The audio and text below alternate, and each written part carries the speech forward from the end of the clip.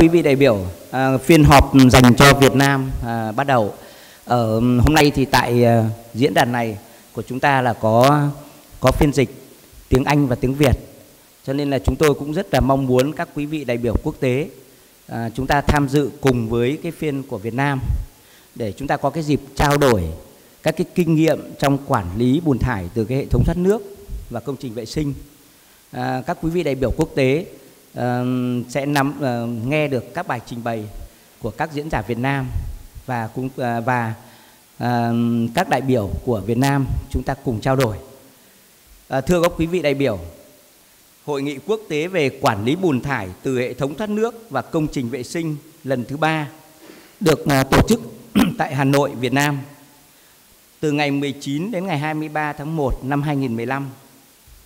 Trong một chuỗi các hoạt động của hội nghị, theo chương trình, hôm nay tiêu điểm cho Việt Nam thuộc lĩnh vực này được tổ chức và khai mạc. Đến dự phiên họp này có các đại biểu của Việt Nam đến từ các bộ, các ngành, các viện nghiên cứu, các trường đại học, các cơ quan chuyên môn của các địa phương, các chuyên gia thuộc các nhà các nhà khoa học đang hoạt động trong lĩnh vực này tham dự hội nghị quốc tế tổ chức tại Hà Nội có khoảng 700 trên 700 đại biểu quốc tế đến từ 55 quốc gia đang dự hội nghị quốc tế này và chúng tôi cũng rất mong muốn các đại biểu quốc tế tham dự phiên họp dành cho Việt Nam hôm nay. Thay mặt cho ban tổ chức, chúng tôi xin nhiệt liệt chào mừng các quý vị đại biểu tham dự. Đây là cơ hội để các chuyên gia Việt Nam tham luận, chia sẻ những kinh nghiệm, những bài học, những thách thức từ các địa phương và từ các cơ quan nghiên cứu. Các vị đại biểu quốc tế sẽ có dịp tìm hiểu thêm về hiện trạng của Việt Nam, hiện trạng cái công tác quản lý bùn thải từ hệ thống thoát nước và công trình vệ sinh cũng như cùng chia sẻ những kinh nghiệm của đất nước mình với Việt Nam. Hy vọng phiên họp dành cho Việt Nam sẽ thu được những kết quả tốt đẹp. Để chương trình à, được tiến hành vào ngày hôm nay thì tôi xin à, giới thiệu cái chương trình của cái cuộc ừ, họp này. Từ 9 giờ đến 10 giờ 15 tôi là Nguyễn Hồng Tiến, Cục trưởng Cục Hạ tầng Kỹ thuật Bộ Xây dựng cùng với ông Phó giáo sư tiến sĩ Nguyễn Việt Anh sẽ chủ trì trong khoảng thời gian từ 9 giờ đến 10 giờ 15. Và trong thời gian này, có 3 bài phát biểu trình bày. Từ 10 giờ đến 10 giờ 15 đến 10 giờ 45 chúng ta có nghỉ giải lao. 10 giờ 45 đến 12 giờ, chủ trì phiên họp, có ngài Herbert Jenny và Phó Giáo sư Tiến sĩ Ứng Quốc Dũng từ Hội cấp thoát nước Việt Nam. Trong trong thời gian này có 4 bài trình bày và sau đó chúng ta nghỉ trưa từ 12 giờ đến 13 giờ 30. Buổi chiều bắt đầu từ 13 giờ 30 đến 15 giờ chủ trì phiên họp có Phó Giáo sư Tiến sĩ Mai Thị Liên Hương và ông Jiren Ensing và tại thời gian thời điểm này có 4 bài trình bày. Từ 15 giờ đến 15 giờ 30, tôi và ông Nguyễn Việt Anh sẽ chủ trì phiên họp này. Và chúng ta từ 15 giờ 30 đến 16 giờ chúng ta nghỉ giải lao. Sau đó chúng ta sẽ có những phiên họp toàn thể đến từ 16 giờ 20 đến 18 giờ. Thì uh, toàn bộ cái chương trình của hội nghị sẽ được tổ chức tại phiên họp toàn thể từ 16 giờ 20 đến 18 giờ. Mong các quý vị đại biểu chúng ta cùng tham dự. Qua cái cuộc họp phiên họp toàn thể chúng ta sẽ nghe các cái bài tổng kết đánh giá của các phiên họp được tổ chức tại các ừ, từ ngày 19 đến ngày 21 này. À, các, các các quý vị đại biểu chúng ta có cái dịp à, tìm hiểu một cách tổng quan từ những kinh nghiệm, từ những bài học và trong cái nội dung này có phần khuyến nghị, khuyến cáo và rút được ra những cái gì cho Việt Nam chúng ta. À, tôi xin à, à tuyên bố khai mạc phiên họp dành cho Việt Nam. Và ờ, chúng tôi xin ờ, mời ông Nguyễn Việt Anh ờ, lên trên bàn chủ tọa. Và tiếp theo chương trình thì đoàn chủ tọa sẽ điều khiển phiên họp và chúng tôi sẽ mời diễn giả, báo cáo viên đầu tiên sẽ trình bày. Xin mời Nguyễn Văn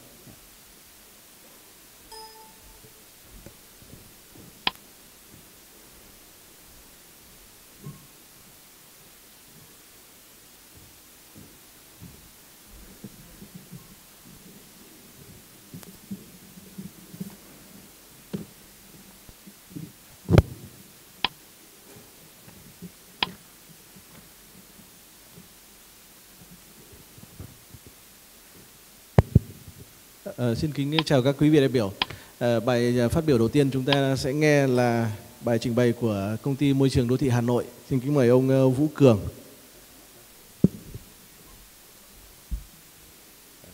Tôi xin tự giới thiệu, tôi là Vũ Cường, Phó Tổng Giám đốc Công ty Môi trường Đô thị Hà Nội, tên viết tắt là Udenco. Trước hết thì xin sơ lược giới thiệu qua cho toàn đội toàn thể quý vị là cái mô hình hoạt động của công ty môi trường đô thị Hà Nội. Thì công ty môi trường đô thị Hà Nội chúng tôi được thành lập là từ năm 1960 là công ty trực thuộc của Ủy ban nhân dân thành phố Hà Nội. 100% vốn là trực thuộc ủy ban. Thì cái nhiệm vụ chính của công ty môi trường đô thị Hà Nội là chúng tôi thực hiện công tác là thu gom, vận chuyển và xử lý chất thải sinh hoạt, chất thải nguy hại công nghiệp, chất thải y tế công ty chúng tôi ờ, khi mà được thành lập đến nay ấy, là có 15 cái đơn vị thành viên ờ, là hoạt động trên tất cả các lĩnh vực phục vụ công tác vệ sinh môi trường.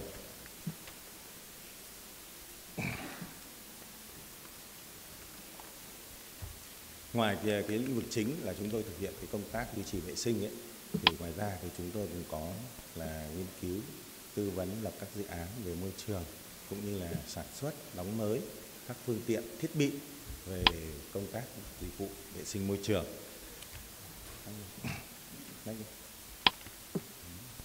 Đây là mô hình tổ chức của công ty chúng tôi. Chúng tôi hoạt động là theo cái luật doanh nghiệp.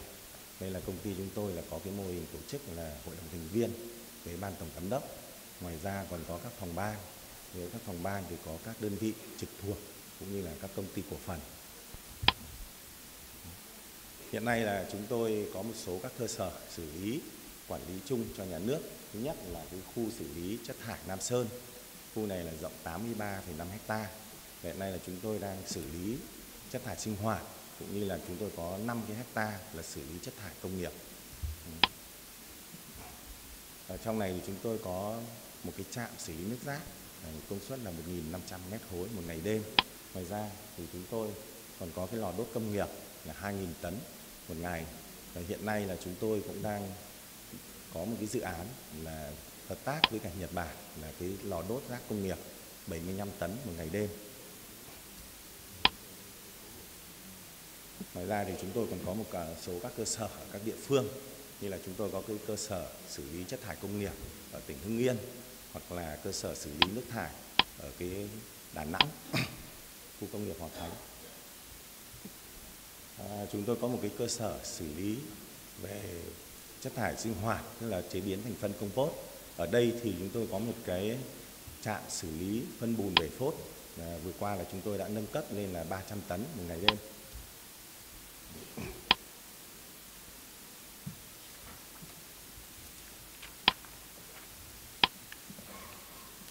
À, tôi đi vào cái nội dung chính hôm nay là công tác quản lý phân bùn bể phốt mà đối với của Urenco chúng tôi, thì về có nội dung, thì có hai cái nội dung chính.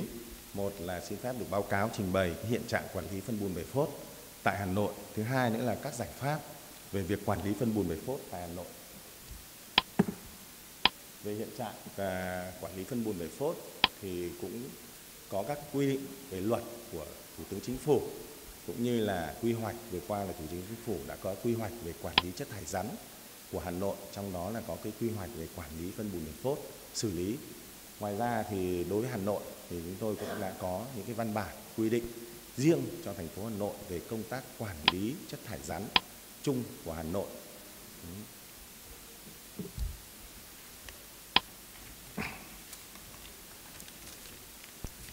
Hiện nay thì cái khối lượng phát sinh của phân bùn bể phốt thì chưa có một cái nghiên cứu chính thức. Bởi vì à, cái này ấy, các đồng chí là các vị là ở đây ấy, cái khối lượng này là chúng tôi cũng đã phối hợp với một số các tổ chức đặc biệt là chỗ JICA của Nhật Bản khi nghiên cứu thì cũng tạm tính nó chỉ khoảng độ 500 đến đến 700 tấn một ngày chứ còn khối lượng chính xác thì cũng chưa có một cái nào nghiên cứu để đảm bảo cái số liệu chính xác.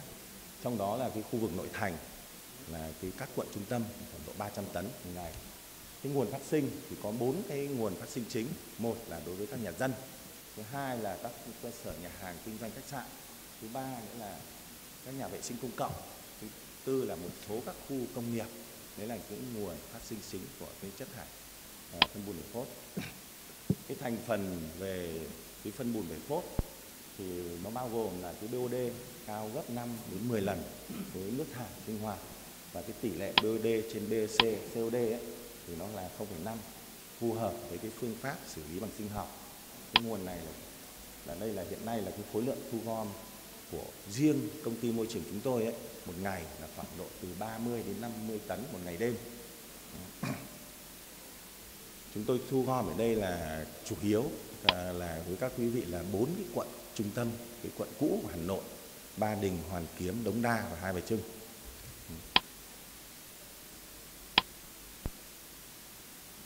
Hiện nay là đối với ờ, công tác thu gom cũng như là lưu chứa cái chất ờ, phân bùn bể phốt này thì bốn cái quận là các nhà vệ sinh, đây là nhà vệ sinh công cộng, thì chúng tôi có khoảng độ 190 nhà. 190 nhà, cái nhà vệ sinh công cộng.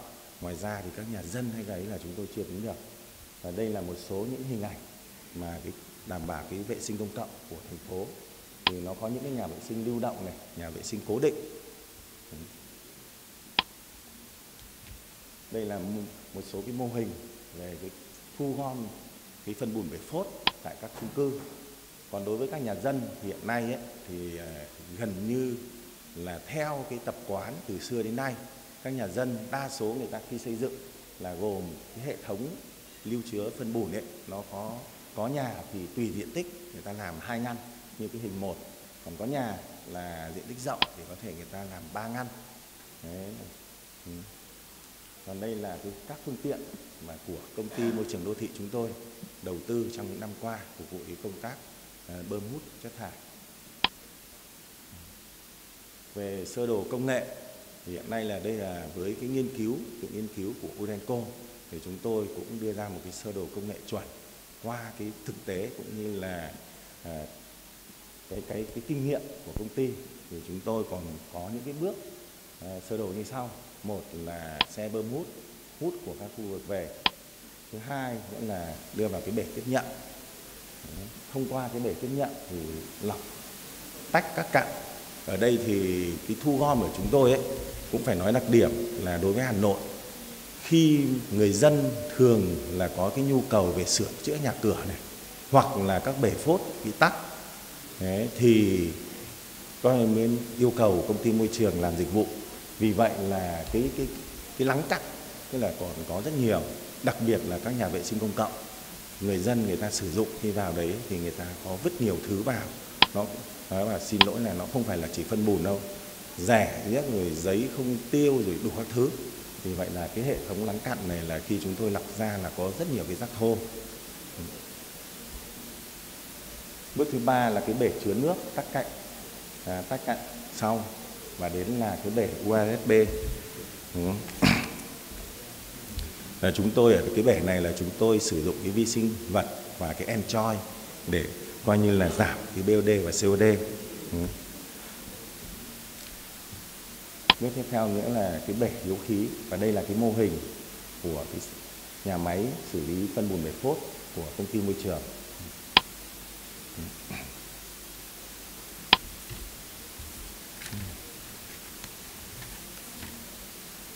Thì hiện nay ấy, thì cái phương tiện thu gom vận chuyển à, phân bùn thải phốt thì hầu hết ở với với công ty môi trường chúng tôi cũng như là các doanh nghiệp khác thì đều sử dụng một là cái xe nhập khẩu hai là cái xe đóng trong nước.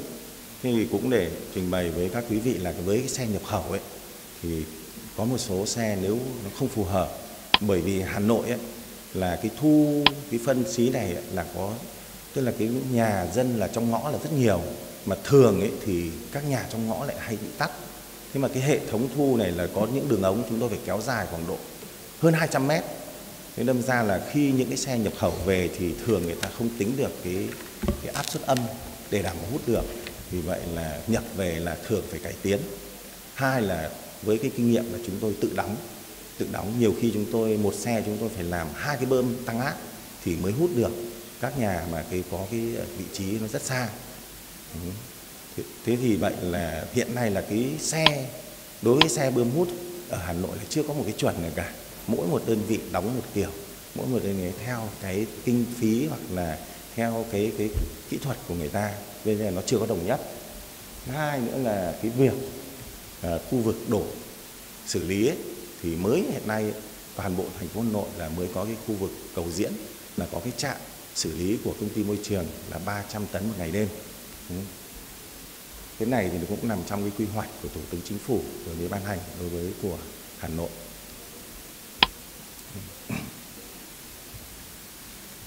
Phần thứ hai là xin phép được đề xuất cho các giải pháp về công tác quản lý phân bùn bể phốt tại thành phố Hà Nội.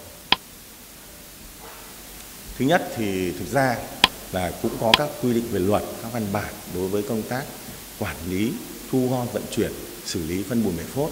Tuy nhiên thì cái này nó nếu nói ra thì nó chưa sát với thực tế. Vì vậy là cái doanh nghiệp hay nói là ngoài Urenco chúng tôi ấy, thì còn có rất nhiều các thành phần doanh nghiệp kinh tế khác. Người ta cũng làm với công tác thu gom này. Thì mỗi đơn vị một một hình thức khác nhau. Chưa có một cái quy chuẩn như tôi nói trước là về phương tiện về con người cũng như về cái công nghệ để xử lý. Sau khi mà thu xong thì xử lý ở đâu và xử lý như nào có đạt chuẩn hay không thì hiện nay là cái việc giám sát là chưa có. Cũng có là cơ quan của bên công an cảnh sát môi trường hay là quản lý về môi trường như chúng tôi là có sở xây dựng và ban uh, duy tu. Thì chúng tôi là hoạt động là theo các cấp và quản lý giám sát từ đầu vào đến đầu ra hút ở đâu hút bao nhiêu khối như nào là chúng tôi có giám sát. Và khi đưa vào nhà máy là có cân cân cái toàn bộ cái lượng chất thải thu về. Thứ hai nữa cân xe ra và thứ ba nữa là trong cái quá trình xử lý là phải có cái quy trình giám sát của cái ban duy tu. Họ nghiệm thu ra được. Thì cái đối với công ty chúng tôi là chúng tôi thực hiện theo đúng. Tuy nhiên thì đối với một số doanh nghiệp ngoài thì cái việc này là nó cũng chưa được giám sát chặt. Thế đâm ra là để đảm bảo cái về môi trường cũng như cái sự cạnh tranh lành mạnh thì chúng tôi đề nghị là cũng phải có cái văn bản quy định cụ thể đối với cái việc công tác quản lý và xử lý chất thải ờ, đặc biệt là cái phân bùn bể phốt thế còn về mặt tài chính thì báo cáo các quý vị là hiện nay đối với cái việc nghiên cứu này ấy, là thường là tự các doanh nghiệp tự các doanh nghiệp đầu tư và nghiên cứu. Nhưng còn cái sự hỗ trợ cũng có của các tổ chức ừ, tuy nhiên là cũng không được nhiều. Bản thân Udenco chúng tôi là vừa qua là chúng tôi cũng có hợp tác bên phía Nhật Bản Kubota. Để nay chúng tôi đang nghiên cứu một cái công nghệ xử lý phân bùn bể phốt kết hợp với cái xử lý rác hữu cơ để làm mùn. Thì thông qua cái việc này là chúng tôi có một cái dự án đang thực hiện là nghiên cứu phối hợp cái xử lý phân bùn bể phốt với xử lý rác hữu cơ để thứ nhất là sinh ra được cái khí bioga là chúng tôi đang tận dụng. Và nếu được ấy, thì chúng tôi sẽ sử dụng làm cái lò hấp của y tế. Thứ hai nữa là tăng được cái phân hủy của cái rác hữu cơ ờ, làm mùn hữu cơ ở đây thì cái rau rau của thi thu gom ở các chợ với các gia đình về ấy, thì trong cái việc thu gom là xử lý làm cái mùn này ấy, thì chúng tôi qua nghiên cứu và phân tích thì nó có một số cái đặc tính mà nếu mà xử lý được cùng với phân bùn ấy, thì nó sẽ triệt tiêu. Thứ nhất là cái trứng run trứng sán này. Thứ hai nữa là các kim loại nặng ở trong cái mùn. Thứ ba là có một số cái độc tố về cái thuốc trừ sâu. Thì khi chúng tôi làm thử nghiệm ấy, thì những cái, cái cái thành phần đấy nó được triệt tiêu rất triệt để. Khi trước đây mà nếu mà xử lý cái rác sinh hoạt không thôi ấy, làm mùn thì có một số cái hóa chất đấy nó không không triệt tiêu được hết. Và khi đem đi phân tích thì bộ nông nghiệp cũng như sở nông nghiệp là người ta khuyến cáo là cái mùn này là không nên phục vụ cho nông nghiệp mà chỉ phục vụ cho cải tạo đất. Thì chúng tôi đang phối hợp với bên Nhật là nghiên cứu. Nếu đạt nếu ứng dụng được ấy, thì cái này cũng rất là thành công. Về mặt tuyên truyền giáo dục thì hiện nay thì đối với, ở thủ đô ấy, thì các khu chung cư mới thì cũng là đã được coi hoàn thiện và nó được xây dựng là có rất bài bản, có quy hoạch. Các nhà coi cái khu để chứa, phân bùn là có đầy đủ hết rồi. Tuy nhiên là đặc biệt với Hà Nội là các khu phố cổ cái việc này ấy là cũng phải nói với quý vị là có nhiều nơi vì đất không có, nên là có thể người ta chỉ dùng một cái gọi là một cái khoanh hầm thôi. Đồng hố là xả xuống đấy và nước xả là xả ra cống. Thì chúng tôi cũng đã khuyến cáo, chúng tôi là có bốn cái đơn vị phụ trách bốn quận. Là chúng thường xuyên chúng tôi là họp các tổ dân phố này, cũng có các tờ rơi và khuyến cáo mọi người dân là nên sử dụng những cái công nghệ, tức là đặc biệt là cái thu chứa phân bùn này này, nó ít nhất nó phải có hai ngăn. Thì khi ấy nó đảm bảo lưu chứa. Thứ hai nữa là chúng tôi cũng có thử nghiệm một số cái vi sinh để cho mọi người dân sử dụng và thấy rằng là nó có hiệu quả. Ừ, ngoài ra thì cũng phải cần là các cơ quan quản lý nhà nước như bộ xây dựng, sở xây dựng, như bộ tài nguyên môi trường và sở tài nguyên cùng với cả các doanh nghiệp chúng tôi làm sao xây dựng được một cái chương trình hành động cũng như cái công tác quản lý phân bùn bể phốt. Nói là Hà Nội chúng ta là phát triển, tuy nhiên rất là mạnh. Tuy nhiên là cái cái sự mà quản lý về chất thải rắn đối với chất thải sinh hoạt đấy thì hiện nay là đã gần như 100% của các quận chính còn của nông thôn thì ấy. Tuy nhiên thì cái quản lý về phân bùn bể phốt thì nó có nhiều cái bất cập, nhất là các vùng quận, huyện ngoại thành. Ờ, người ta cũng chưa chú trọng lắm về cái việc đấy. Và có một số nơi là vẫn sử dụng những cái phân bùn này để làm cái phân xanh thì nó cũng không đảm bảo được cái tiêu chuẩn, chất lượng. Thế thì qua cái việc quản lý này với chức danh, năng là một cái doanh nghiệp ờ, chúng tôi cũng là phục vụ môi trường thì qua cái cuộc hội thảo này cũng rất là mong được ờ, các quý vị ờ, cùng với nhau trao đổi và học hỏi. Ở đây tôi biết là cũng có rất nhiều các nước đến thì cũng để nghiên cứu làm sao là chúng ta ờ, có một cái tiếng nói chung và cũng học hỏi được với nhau trong cái công tác quản lý vận chuyển thu gom và xử lý phân bùn. Xin cảm ơn. Vâng, xin cảm ơn bài trình bày của ông Vũ Cường. À, xin mời anh Cường. À, chúng ta có một ờ, à, 3 đến 5 phút chúng ta có thể là trao đổi. À, xin mời các quý vị đại biểu chúng ta có những cái à, câu hỏi hoặc là những cái à, tham gia thêm vào cái bài trình bày này. Xin mời các quý vị đại biểu ạ.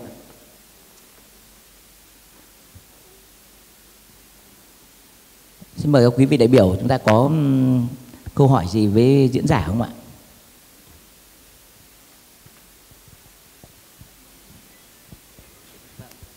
Vâng, xin mời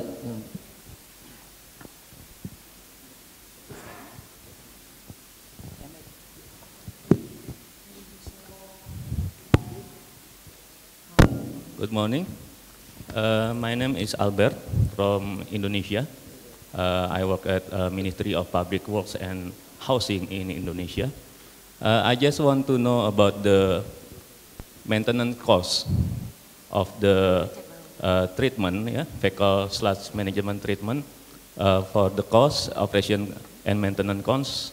And also from the flowchart, I saw that the treatment use about USB, upflow uh, anaerobic sludge blanket.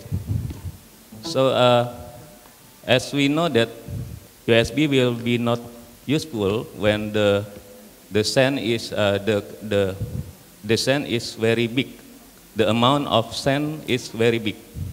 So uh, how to manage the sand before uh, come into USB? And also the USB can be useful when the electricity and the work of electricity uh, work 24 hours. If stop, the blanket will be not uh, formed. So what uh, I want to ask you, uh, the process will be 24 hours or how the process? That's my question. Thank you.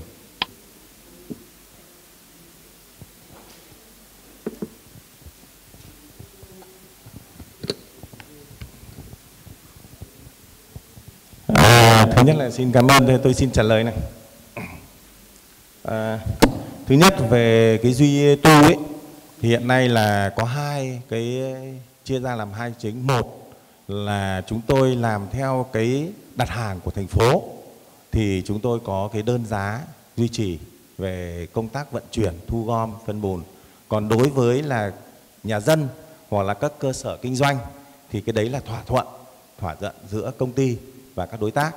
Thế còn về cái đơn giá thì nó theo cái định mức và đơn giá của thành phố quy định. Thứ hai nữa là cái, cái về đúng là về nói là cái cái cặn tức là cái chất trải dơ về ấy, ấy thì chúng tôi qua cái này chúng tôi có cái kinh nghiệm bật lại cái cái trạm ấy thì nói là này cái đối với ba như cái trạm của chúng tôi là công suất 300 thì chúng tôi để hẳn coi như là một cái bể lắng là 300 mét khối 300 mét khối nhưng chúng tôi chia làm 4 ngăn. Đấy và chúng tôi mỗi ngăn ấy là chúng tôi lọc thô lọc tinh và chúng tôi có cái hệ thống hút hút ở dưới đáy. Đấy là khi, đâm ra là khi bạn hỏi là qua cái bể USB ấy, còn không? Thì gần như, hồi qua chúng tôi kiểm chứng là gần như không còn cái chất cặn cặn ở dưới nữa. Thế còn về cái việc ờ, đúng là USB thì là phải duy trì là về bơm dục khí rồi. Làm thì cái điện là bao giờ cũng phải có. Tuy nhiên thì cái này ấy, là nó phải theo cái kỹ thuật vận hành thôi cái này là do cái công nhân chúng tôi cũng ấy là chúng tôi khuyến cáo cái lúc mà phải đấy là phải thường xuyên từng ca một phải kiểm tra và chúng tôi có cái biểu đồ biến tần để cho cái hệ thống sục này nó đảm bảo cái tiết kiệm điện năng nhất. Vâng, uh, cảm ơn anh Cường. Uh, I would like to give you ờ, uh, some more information. Uh, two years ago, we did uh, one study with the Gates Foundation, and uh, the report uh, has been published now in the Susanna website. Uh, there are detailed uh, analysis, uh, including financial analysis, analysis of the business done for Hanoi Orenco and some cities like Haiphong and Ho Chi Minh City. And there are some cost calculation, and we, we found that uh, fake sludge treatment is a must-do thing for Urenco. They cannot get benefit, so they have to get subsidy from the city.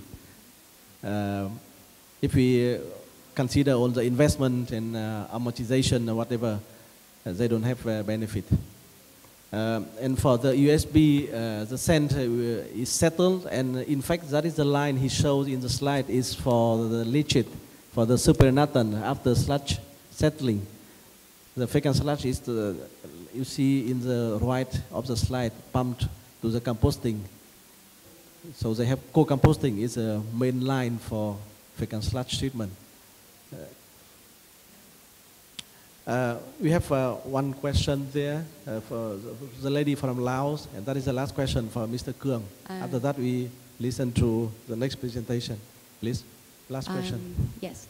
Uh, my name is uh, Petmani from SNV Laos. Uh, sir, my, my question is more concerned about the operations because um, in, in my country, uh, the pit, it, uh, in the pits will have a lot of things include the sludge, uh, solid wet. So um, I wonder how to separate the solid wet and to get the raw sludge to get to another process of the system. Thank you.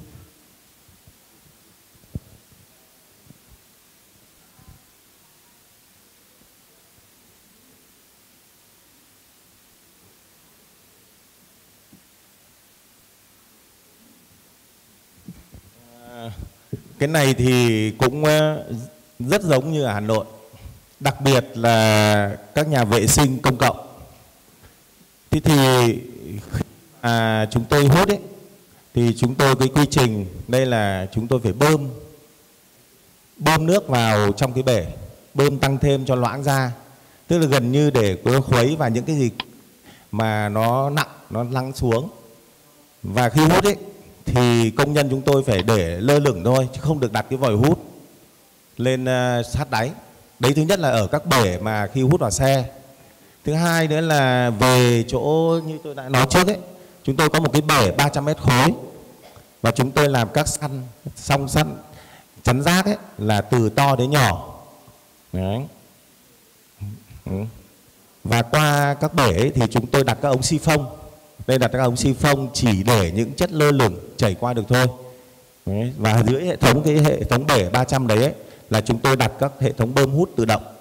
Và chúng tôi làm những cái mui rùa. Nếu thực ra nếu các bạn đấy là cái mui rùa ấy thì các chất đấy nó nó chạy vào cái khe nặng nó chạy vào khe là chúng tôi hút luôn. Đấy thì nó đảm bảo là khi như ờ, câu hỏi trước của bạn thì Indo ấy là sang đến nổ UAB là gần như không còn cái chất cặn mà rắn nữa chất thải rắn nữa. Vâng, giờ chúng ta nhiệt liệt ờ, cảm ơn ờ, ông ờ, Vũ Cường về những cái thông tin chúng ta vừa được chia sẻ. À, bài tiếp theo xin mời ông anh anh Cường cứ ngồi trên này lát nữa chúng ta còn thời gian thì còn trao đổi. Xin mời ông Phạm Minh Tuấn, chủ tịch giám đốc công ty trách nhiệm hữu hạn một thành viên thoát nước Hải Phòng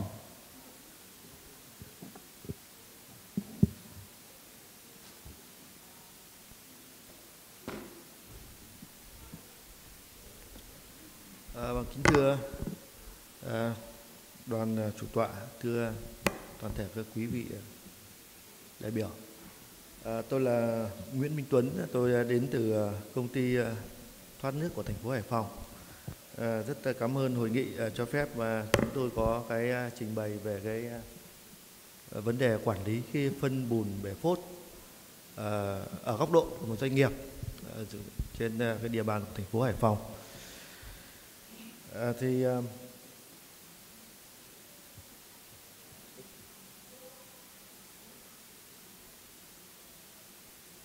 cái à, thứ nhất là tôi xin được giới thiệu về công ty thoát nước của Hải Phòng thì là thành phố Hải Phòng thì à, cách Hà Nội là 100 cây số ra thành phố Cảng. À, với cái lượng mưa cũng như là cái nhiệt độ trung bình thì cũng tương tự như Hà Nội và là một thành phố là đứng thứ ba của Việt Nam.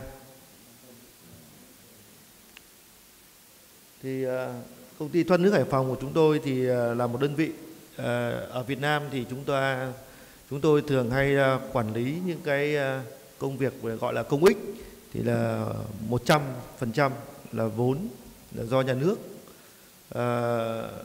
đầu tư và là là chủ sở hữu của các doanh nghiệp và phục vụ những công việc à, về công ích như thế này.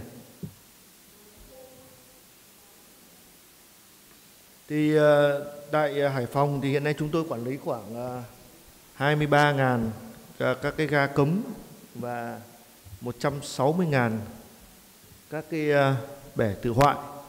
Thì đây là cái những cái lượng mà phát sinh ra những cái bùn thải mà cần phải xử lý. Ờ, ở Hải Phòng thì ờ, ở đây ờ, chúng tôi xin được nhấn mạnh là một cái cũng tập trung vào một cái một cái mô hình cũng tương đối là mới à, so với cả nước là ở chỗ là à, chúng tôi được à, ngân hàng thế giới tài trợ một cái dự án về thoát nước và đây có một à, quan điểm ấy, là cái thứ nhất là cái bùn từ các cái bể phốt ấy, phải đưa vào coi như là cái, cái hệ thống bể phốt là một thành phần của cái hệ thống thoát nước.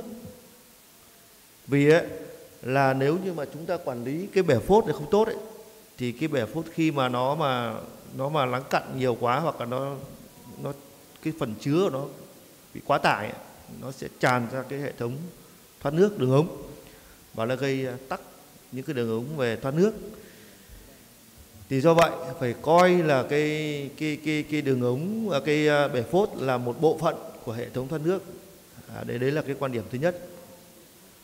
À, và cái thứ hai ấy, là là phải uh, phải hút cái bể phốt một cách định kỳ mà theo quy định. Đấy, thì uh, và một quan điểm nữa của ngân hàng thế giới tức là cái người mà phát sinh ra những cái cái cái cái cái, cái nước thải bùn thải thì phải trả tiền. Thì do vậy là một trong những điều kiện của hiệp định tín dụng à, khi mà chúng tôi ký kết để vay vốn ngân hàng thế giới để làm cái dự án này tức là phải chúng ta phải người dân sau khi dự án làm hoàn thành xong tức là người dân phải trả phí. Và hiện nay chúng tôi đang thu được cái phí là khoảng 15% tức là cao gần như là vào thời điểm mà trước khi có cái, cái nghị định về thu phí về thoát nước ra đời ở đầu tiên của trên ờ, trên địa bàn ờ, trên trên cả nước. Thế thì cái cái phí này hiện nay thu qua hàng năm ấy, thì thu được uh, hiện uh, đây là đây là cái cái biểu phí mỗi năm thì chúng tôi nói chung là nó sấp xỉ so với lại cái chi phí mà phải bỏ ra để quản lý cái hệ thống thoát nước này thì đấy là đấy là đấy là một cái mà hiệp định quy định như vậy. Và người dân khi mà đóng tiền phí này thì là là phải bao gồm luôn cái việc mà công công ty thoát nước của chúng tôi là đơn vị thu phí này là phải đi ra ra hút phốt cho dân. Mà dân không phải đóng phí lần không phải đóng phí thêm nữa. Đấy, thế thì thì cái việc mà đóng phí này là nó nó rất là thuận lợi vì là khi mà người dân người ta thấy được cái lợi ích người ta phải đóng để làm cái gì. Và thứ hai là về phía doanh nghiệp phía nhà nước thì cũng được cái lợi tức là chúng ta sẽ quản lý được cái hệ thống uh, bùn phốt ấy, là được nạo vét định kỳ đúng quy cách và được vận chuyển một cách tốt. Thì cũng như ở các địa phương khác và một số các cái à, nước đang phát triển ấy, thì là trước kia thì chúng tôi cũng có rất nhiều cái nhà vệ sinh công cộng. Rồi là à, việc cái, cái việc thu gom cái bùn bời phốt này là nó nó nó nó nó rất là không được à, đúng quy cách. Các cái doanh nghiệp rồi các cái tư nhân cũng đi hút phốt. Thế rồi là bơm các cái hút phốt được ấy là bơm xả ra những cái hệ thống lung tung. Rồi xả ra mương hồ gây ra ô nhiễm môi trường thế thì à, còn à, về phía của chúng tôi ấy, thì sau khi mà thực hiện cái dự án 1B này ấy, thì là chúng tôi dùng cái xe chuyên dùng được hút phốt một cách định kỳ hút phốt một cách đúng quy cách và người dân được đảm bảo và chỉ đóng tiền một lần Đấy. thế thì đây là cái mà và chúng tôi có cả những cái thiết bị đặc biệt là có những cái vấn đề là rất nhỏ như là người dân là một số người ta cũng khi mà nó có một cái khó thế này khi mà chúng ta mà đi vào mà yêu cầu họ là đi hút phốt ấy, nếu như người ta chưa có nhu cầu thì người ta cũng không không sẵn sàng. Thế do vậy là chúng ta phải có một là cũng phải có truyền thông thứ hai là có những cái biện pháp ví dụ như là không cái tập quán người Việt Nam là không muốn đập những phá nhà rất là người ta kiêng kỵ. Thế thì mình phải có những cái chúng tôi có cái cái máy à, khoan rất là lớn khoan một cái vào xong rồi hút xong là đậy nắp. Thế thì còn tức là làm rất là đẹp rất là sạch và rất là uh, người dân cảm thấy nó không có bị phiền hà và nó không bị uh, nó không bị bị bị bị bị ảnh hưởng đến cái sinh hoạt của họ. Và trong khi đó thì chúng ta được hút ờ, bể phốt và một cách rất là là là đúng quy cách. Thì uh, hiện nay thì uh, cái cái cái cái việc hút phốt này thì được quay vòng định kỳ À, và hiện nay thì à, chúng tôi đã quay được hết một vòng xung quanh toàn thành phố. Thì đây là cái biểu đồ mà chúng tôi hút hàng năm. Một năm có thể hút đến khoảng là 14 đến 15 ngàn mét khối. Và trong những năm gần đây thì cái lượng hút phốt là giảm dần. Tại vì do là cái cái cái số lượng cái bể phốt mà chúng ta chúng tôi đã hút ấy là nó cái quy cái cái cái cái chu kỳ ấy là, là là là là đạt được một vòng của thành phố. Nên là cái cái số lượng hút là giảm dần thì cái bùn này ấy, à, vấn đề thứ hai là được xử lý như thế nào? Thì à, những cái bùn phốt này chúng tôi có một cái dự án tức là một b là làm ở đổ tại tràng cát lại một cái khu xử lý. Tất nhiên là cái khu xử lý này thì cũng không được à, chưa được một cách hoàn hảo lắm nhưng mà đây là xử lý theo phương pháp gọi là composting.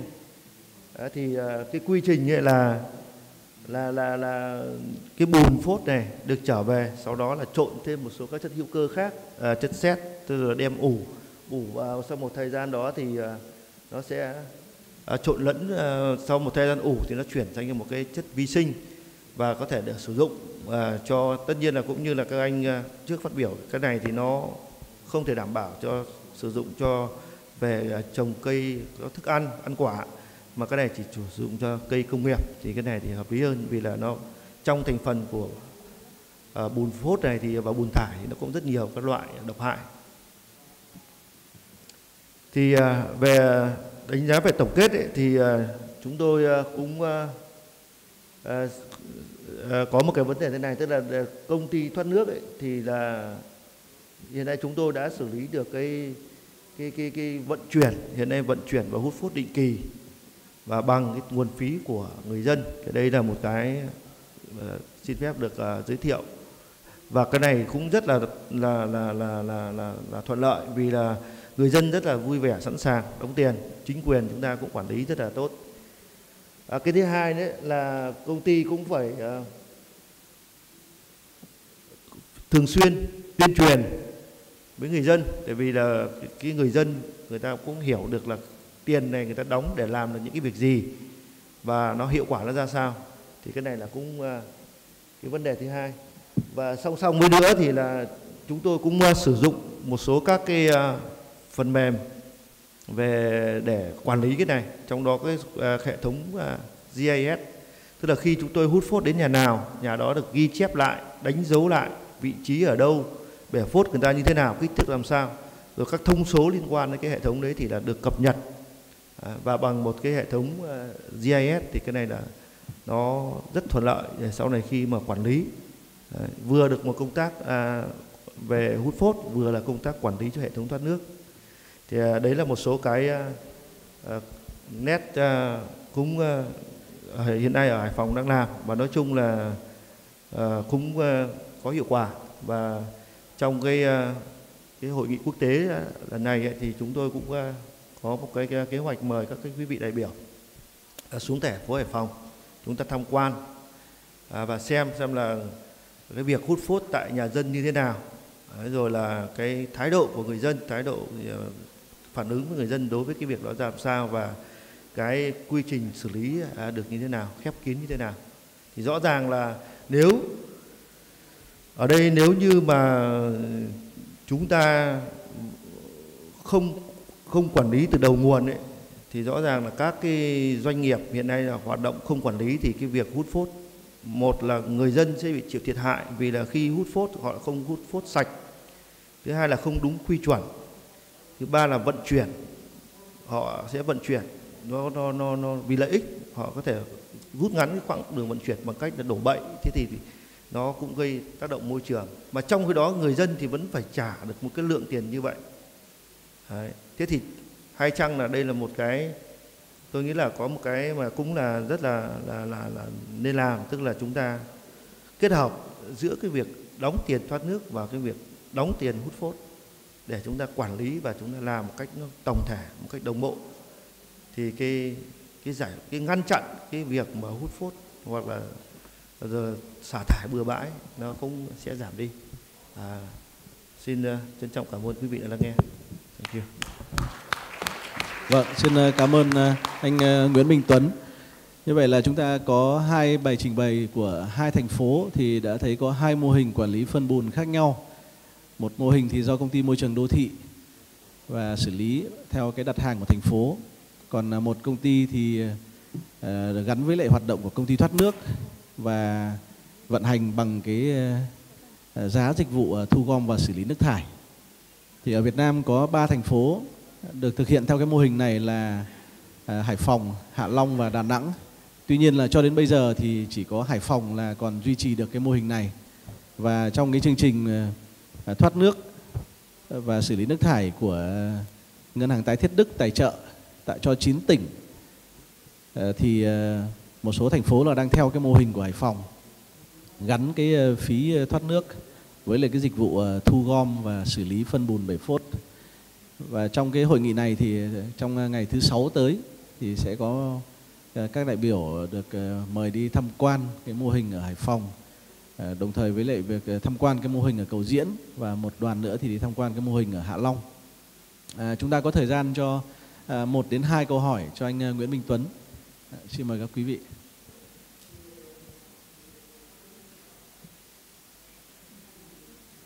À, So we have limited time, so I would like to have representing questions. Uh, one from the first line and second, the lady in, in the last line. Okay, please. And later we can discuss if we still have time. Hi, I'm Asim from India. My question is for Haibong City presenter. You mentioned in your presentation that you have regular desludging. So my question is that what is the desludging frequency? Is it every two years, three years? And whether this is demand based or a scheduled based that you know exactly which septic tanks to empty. Thank you.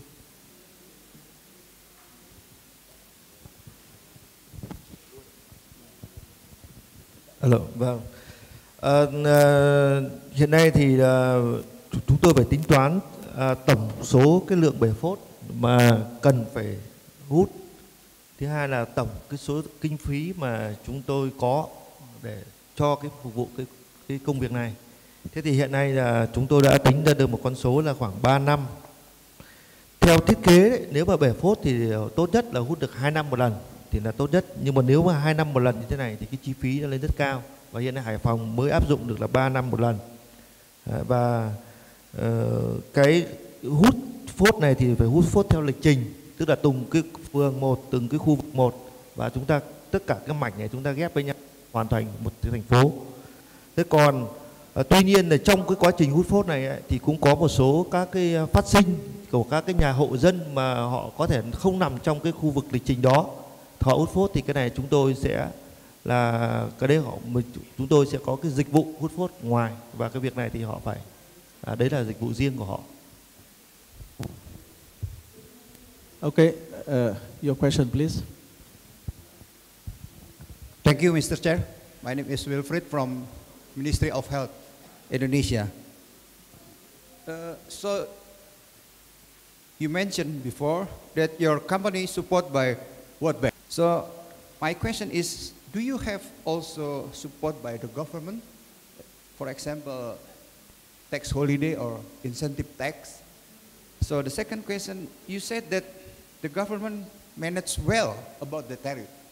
How, how well, uh, how well uh, about the, the government uh, for, for, for the tariff arrange, arrangement? And then the, sec, uh, the third question is, uh, how about the customer willing to pay? Do you have any clue or any idea to, for, for, for the customer be, willing to pay? for the tariff. Thank you.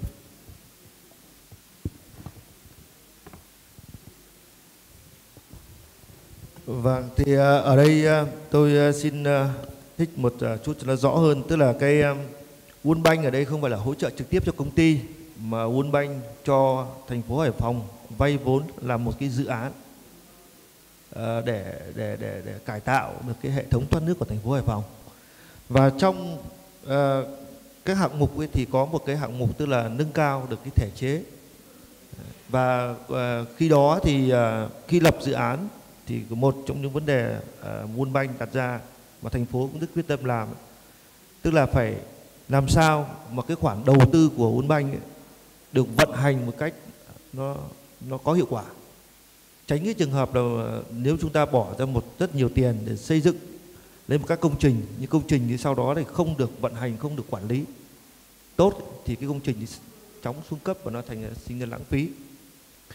Thì ở đây một cái vấn đề mà World Bank đặt ra tức là cái phí này ấy, làm sao mà cái phải đảm bảo cái người dân hưởng lợi được từ cái dự án đó thì phải trả cho cái tiền vận hành.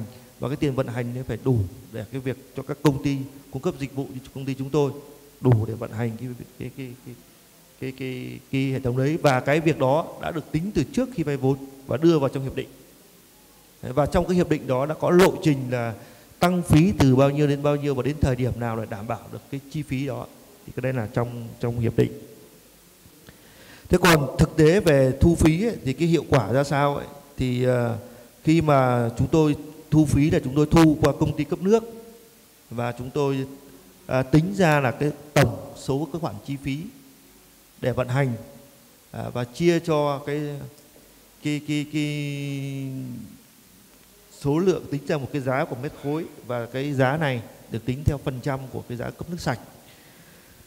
Thì hiện nay thì uh, nói chung là thực ra thì cũng chưa đảm bảo thành phố vẫn phải tài phải chính quyền uh, của thành phố đấy vẫn phải uh, subsidize vẫn phải hỗ trợ thêm. Thế nhưng mà cái uh, cái cái việc thu phí này ấy, thì là được uh, được đại diện cho thành phố kiểm tra à, xem xét và đánh và ờ, và và giám sát à, xem là cái việc à, à, việc việc việc việc à, vận hành như thế này nó các cái chi phí này được vận hành như thế nào và thực tế thì uh, hội đồng nhân dân ấy, là đại diện cho dân ấy, là cũng được à, tham gia để phê duyệt được cái cái giá này Đấy, và à, thì cái hiệu quả của quản lý là thực ra ở Hải Phòng chúng tôi hiện nay về mặt ngập lụt đây là đối với các trận mưa 50 mm thì không ngập. À, thế rồi là cái việc mà à, ô nhiễm môi trường là cũng được giảm. Thế và những cái những cái tiêu chí đánh giá đấy là được phổ biến với người dân. Và sau khi người dân thấy được à, các cái các cái cái, cái cái cái lợi ích của cái đồng tiền mình bỏ ra được tiêu như thế nào hiệu quả ra làm sao. Tức là chúng tôi một trong những vấn đề là chúng tôi cũng rất uh, chú trọng đó là cái việc tham gia của người dân trong cái hoạt động của uh, cái hiệu quả hoạt động của doanh nghiệp và được phổ biến với người dân. Hàng năm chúng tôi vẫn phải đi tuyên truyền tại các cái phường, các cái quận. Đấy. cũng có người dân người ta phàn nàn, ví dụ như là người ta bảo chúng tôi đóng phí cái này để làm cái gì. Nếu như chúng tôi vẫn bị ngập lụt thì chúng tôi phải giải thích và chúng tôi chỉ rõ là người họ được cái gì, họ chưa được cái gì.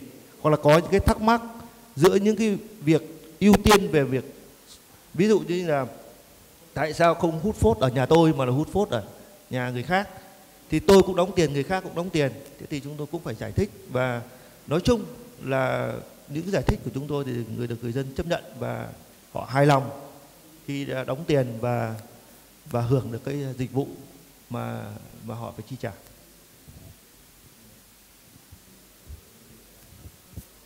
À, vâng, xin à, cảm ơn ông Nguyễn Minh Tuấn và xin à, cảm ơn cái câu trả lời cũng như là cái câu hỏi của các quý vị đại biểu. Và tiếp theo thì à, chúng tôi xin à, mời ông Habert Jenny, đại diện của ngân hàng thế à, ngân hàng ADB sẽ trình bày cái bài của mình. Xin mời ông.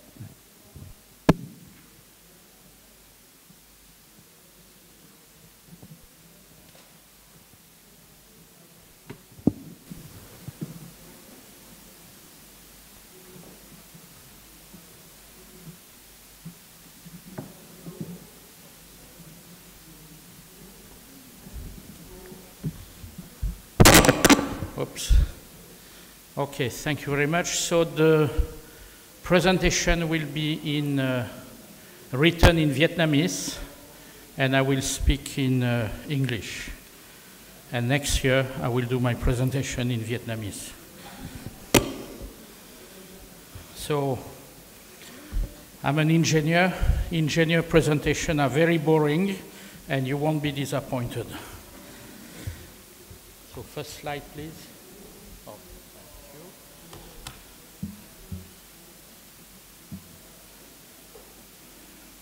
Okay, so for our non-Vietnamese friend, I have one page summary on the legal background on wastewater in uh, Vietnam. And one of the key decree is the new wastewater decree that is effective since 1st of January, uh, enacted by uh, uh, under the auspice of the Ministry of Construction, and is Decree 80. And basically, he continued the principle of the previous uh, uh, decree on uh, cost recovery for operation and maintenance and subsidy for capital expenditure. Second one is now under the new decree, the connection is mandatory and it has to be borne by the household up to the uh, connection point on the network. And also strengthen the provision of a service contract for operation and maintenance.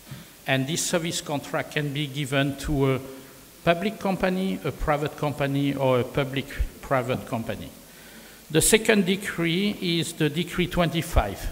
Uh, this one is under the auspice of the Ministry of Natural Resource and Environment, and to simplify, basically, if you are not connected to a network, you are under decree 25, and if you are connected to a network, you are under decree 80, is a, a simplification. There is an orientation plan for wastewater, drainage, and industrial park up to 2025 with a vision up to 2050. And this was done in 2009, and there is indication on target and objective for coverage and then the government issue every 10 years a socio-economic development strategy and every five years a socio-economic development plan. We are finishing this year the socio-economic development plan 2011-2015 and the target for wastewater are basically taken from this decision. And under the construction code, uh, septic tanks are mandatory. So you cannot build a house, you cannot build anything if you don't have a septic tank. And for the future, septic tanks are basically here to stay for a very long time, especially in the secondary and uh, smaller city. So the good news is that Vietnam passed the Millennium Development Goal and set up their own more ambitious Vietnam Development Goal. Uh, coverage for water supply is very good, and our water program work mostly on improvement of service rather than uh, coverage. But on wastewater, a lot has to be done. Uh, like I say, in urban coverage, the reliance for treatment is septic tank. Less than 10% of the country is covered by a central wastewater system. There is about 400 other communes, basically uh, uh, towns with less than 50,000 people that still do not have pipe water supply and sanitation. And average tariff in water supply has been going up, and I will say water tariff in uh, uh, Vietnam is no longer an issue. It was an issue about five years ago, but on wastewater is uh, from 10% of the wastewater tariff. And Ministry of Construction, Ministry of Finance, Ministry of Planning and Investment, with the assistance of the donor, are working on uh, a cost norm and uh, uh, some new methodology to calculate wastewater tariff. So ADB has done a lot of work in, uh, in Vietnam in, the, in wastewater, and Uh, we recognize the fact that the big city require a large centralized wastewater project that can be customized. But really, when we look at the smaller city, basically from 5,000 inhabitants up to 250,000 inhabitants, what do we do? What do we propose? So we look at decentralized wastewater management. We did a pilot project with uh, Borda in 2009 in the commune of Kee in Hanoi, and we look at different models operation and maintenance either by the community or by the public. And we decided to, uh, after doing survey, after looking at uh, uh, efficiency, knowledge, and performance, to give this to the, the public company. Uh, we have managed our wastewater program through our urban development, urban environment project. Uh, one of those projects is Tan Hoa, and it's a central wastewater management using uh, combine uh, uh, sewer and drainage. And we basically move from combined to separate with an horizon of over 20 years. So at the moment, we use combined system in order to minimize the capital investment cost, but the city will move as they grow, as the local economic development improve, into a separate system. We started with a lagoon, and this lagoon can be upgraded to an aerated lagoon, and later it can be up upgraded to a conventional activated sludge or a sequence batch reactor, but basically a solution that can evolve. The advantage of a lagoon is that it's very simple, it's very cost effective.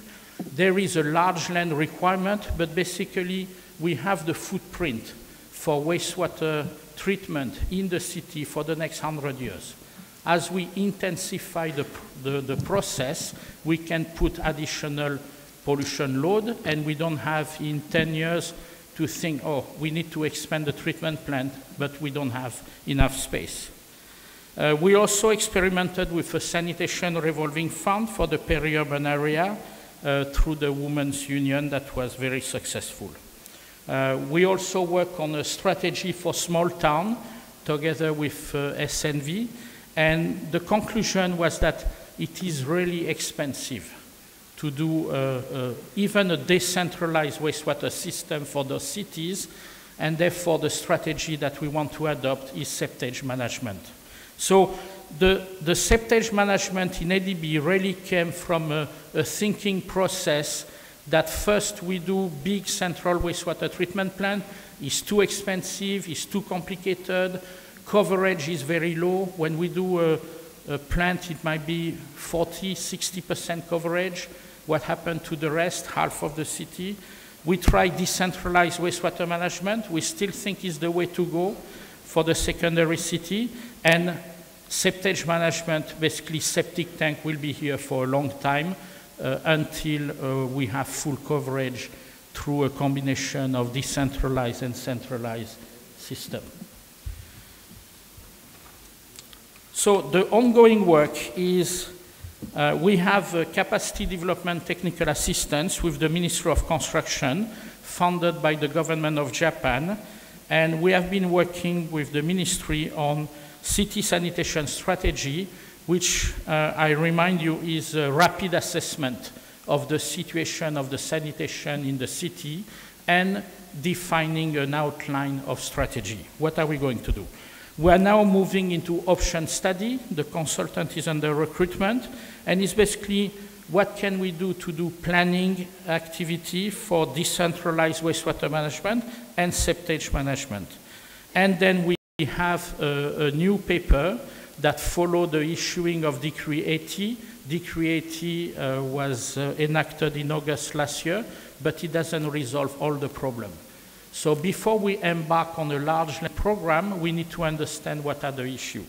And those issues are basically institutional, social, technical, and financial.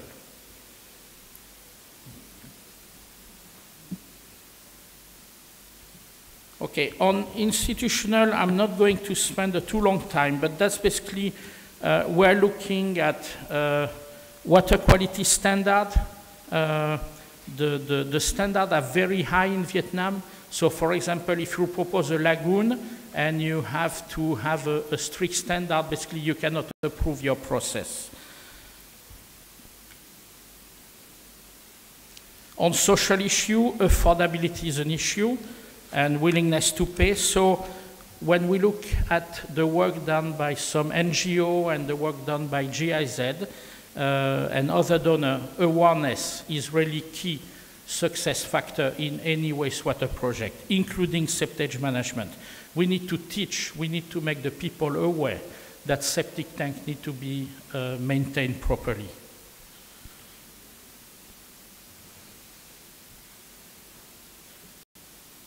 On technical issue, we have still a lot of problem.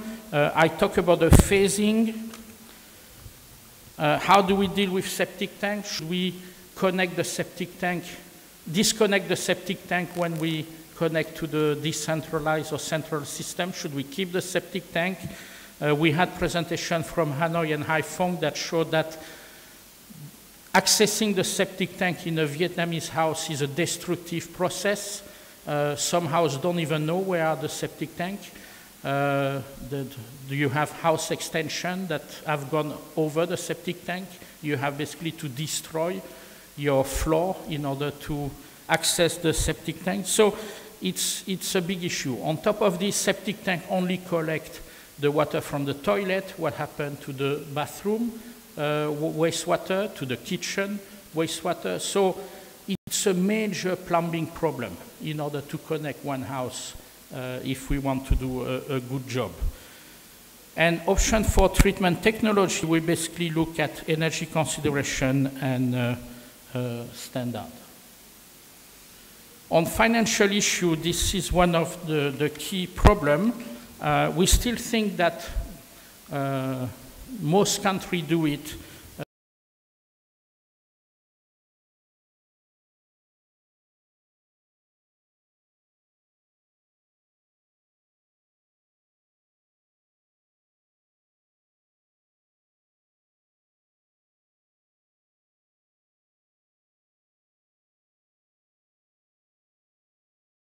financed by JICA will be 100% uh, on land. So basically, Minister of Finance is sending a message that we don't have the money to subsidize anymore, but we need to find solution. The challenge for Vietnam from the World Bank sanitation study is that they borrow, Vietnam borrow $150 million a year, which is great, is very good. But in order to make a difference in terms of environmental pollution control and public health, Vietnam should borrow 500 million per year.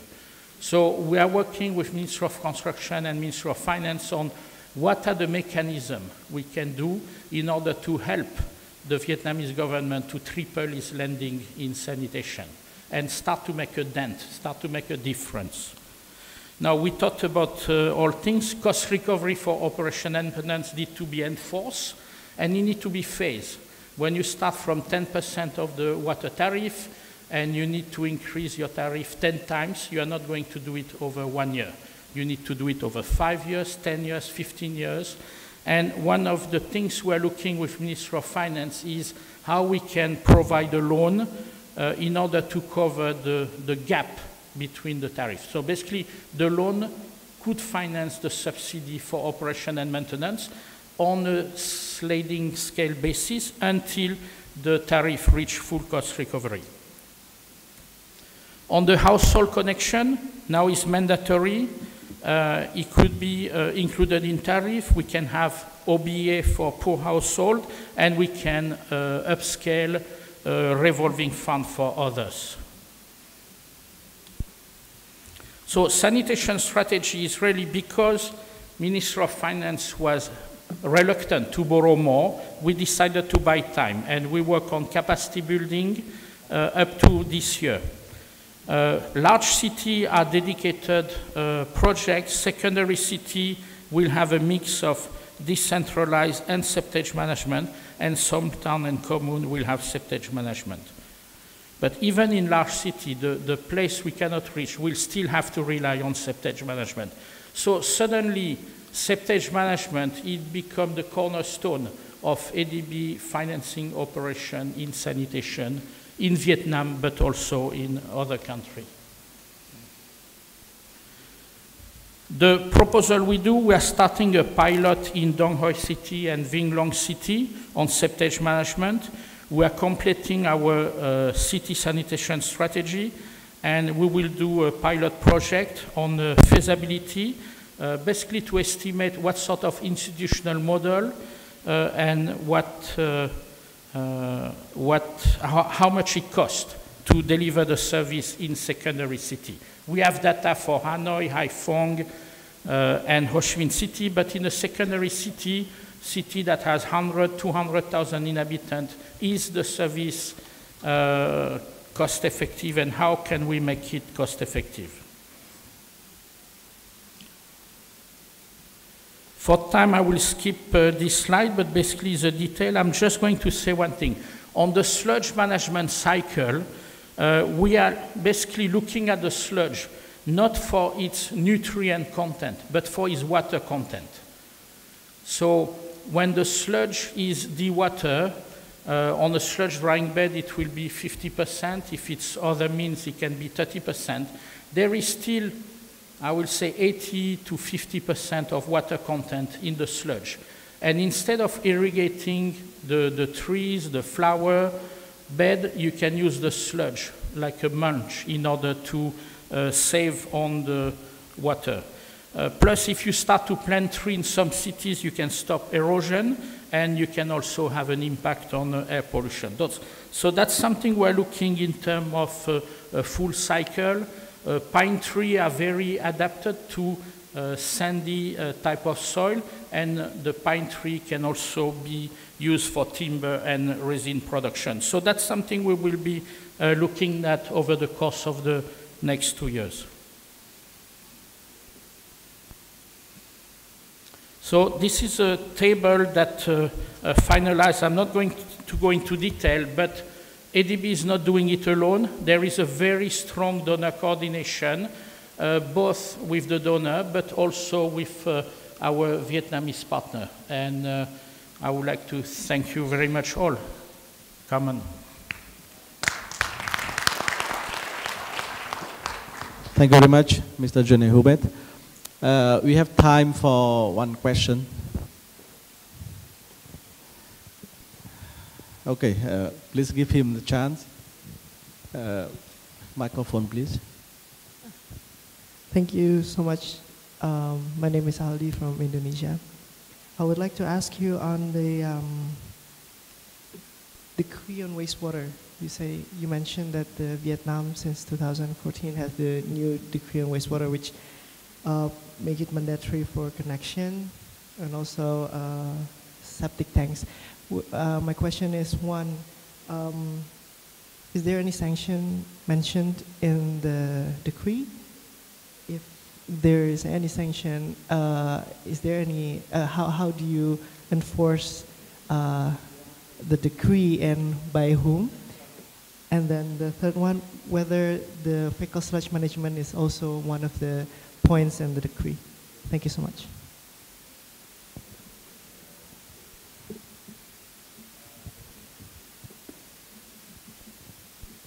I, I recommend that you have a coffee with your neighbor, Madame Huang, from Ministry of Construction.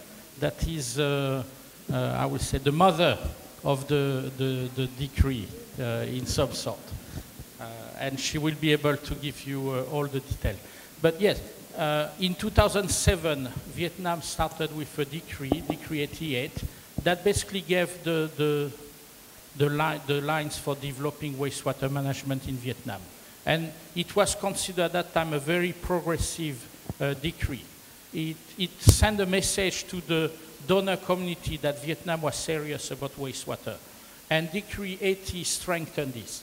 Uh, Decree 80 doesn't speak, strictly speaking, about septage management, but it introduced decentralized wastewater management. There is other legislation, secular, that uh, uh, uh, manage uh, septage management.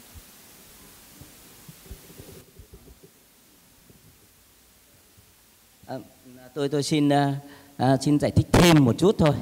À, cái nghị định 80 ấy, thì là thay thế cho cái nghị định 88 và cái nghị định 80 thì à, chính phủ ký ngày mùng 6 tháng 8 năm 2014 và có hiệu lực à, đến ngày từ ngày mùng 1 tháng 1 năm 2015.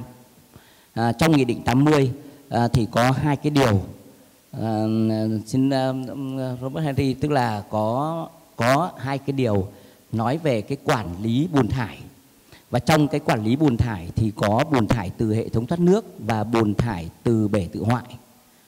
À, và cũng tương đối chi tiết nhưng hiện nay thì à, bộ xây dựng đang soạn thảo cái thông tư hướng dẫn và làm rõ thêm cái nội dung của cái quy định này. Đấy là về cái quản lý này. Cái thứ hai tức là trong nghị định 80 cũng có nêu lên những vấn đề về cái đấu nối với hệ thống thoát nước.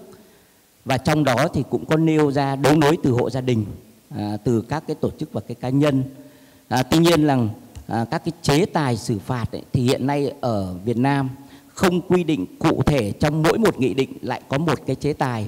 Và trong trong một cái nghị định về quản lý về xử lý vi phạm hành chính trong vấn đề bảo vệ môi trường thì có cái nội dung có liên quan đến xử lý các vi phạm này. À, cho nên là cái việc mà trong cái nghị định về xử lý vi phạm đối với vấn đề bảo vệ môi trường thì có có quy định cho các cơ quan ví dụ như là uh, các cái thanh tra rồi uh, cảnh sát môi trường vân vân. Thì uh, và trong đó thì có các quy định cả cái mức phạt đối với cái việc vi phạm này. Thế thì tôi chỉ xin uh, giới thiệu thêm một uh, chút về cái này.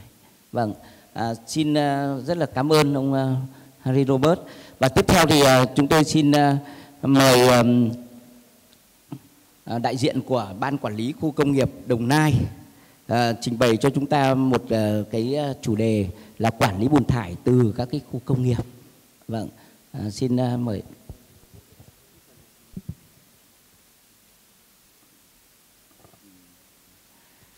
Vâng, à, chúng ta sẽ à, xong bài này thì chúng ta sẽ nghỉ giải lao. Thì à, xin à, phép các quý vị đại biểu chúng ta à, chậm lại một à, vài phút. Ạ. Vâng, xin mời anh Tịnh.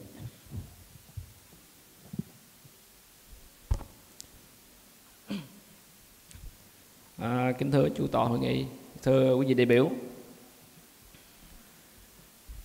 Thì à, về các khu công nghiệp thì à, cả nước à, đến nay là có 60 tỉnh thành có các khu công nghiệp, khu chế xuất, khu kinh tế hoạt động.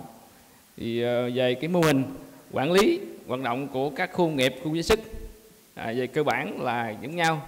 Tuy nhiên ở từng địa phương có khác à, khác về cái quyền hạn trách nhiệm của cơ quan quản lý khu nghiệp. À, tùy theo địa phương nó có khác nhau.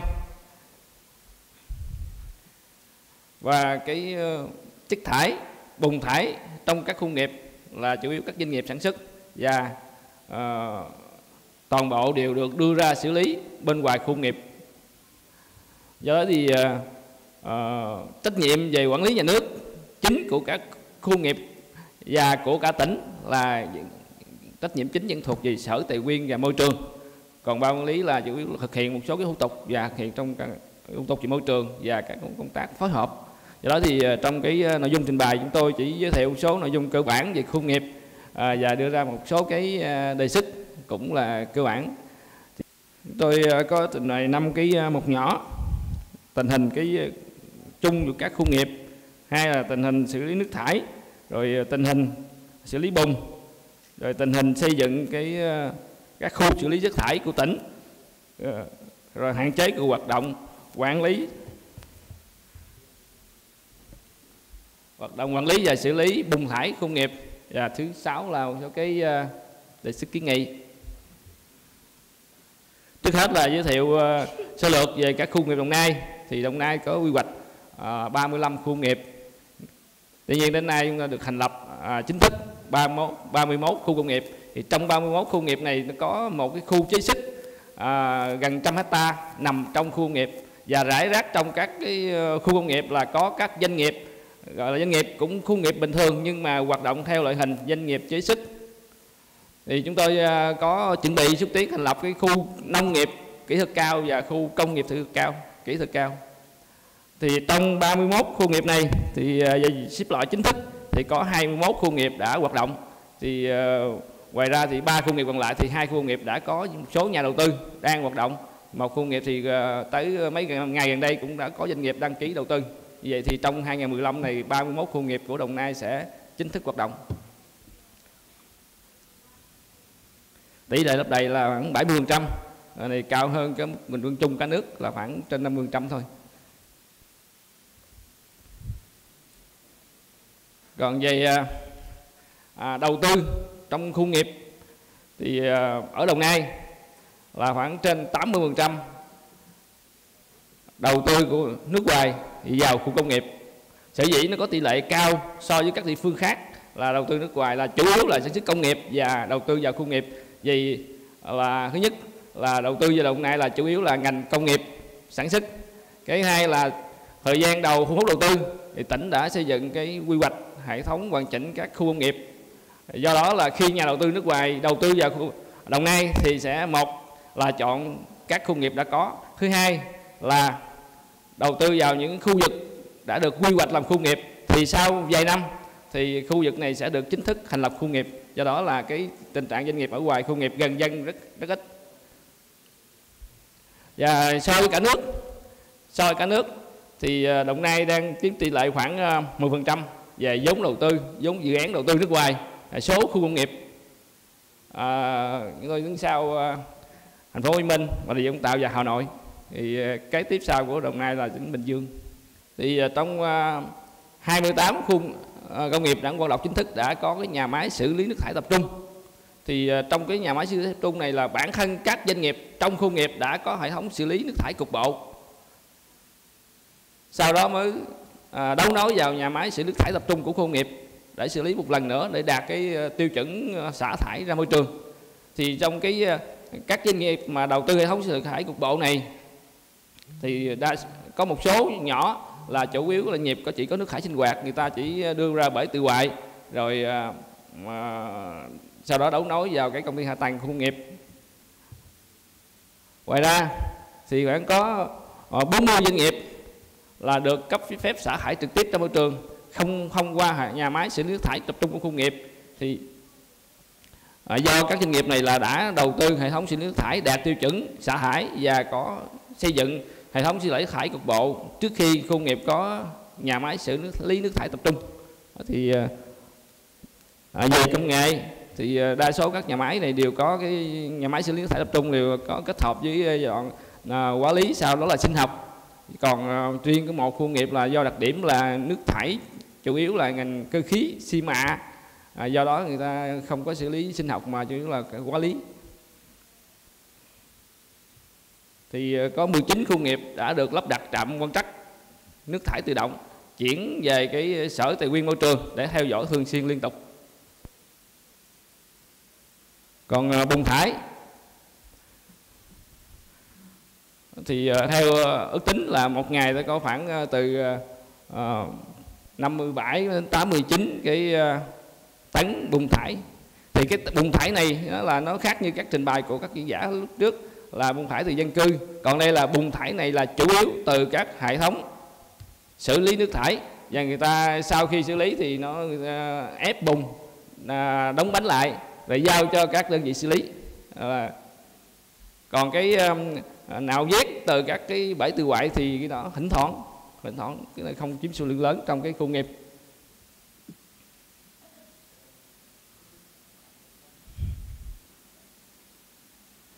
Về à, tình hình xử khu uh, xây dựng các cái khu xử lý uh, chất thải rắn nói chung trong đó cùng thải.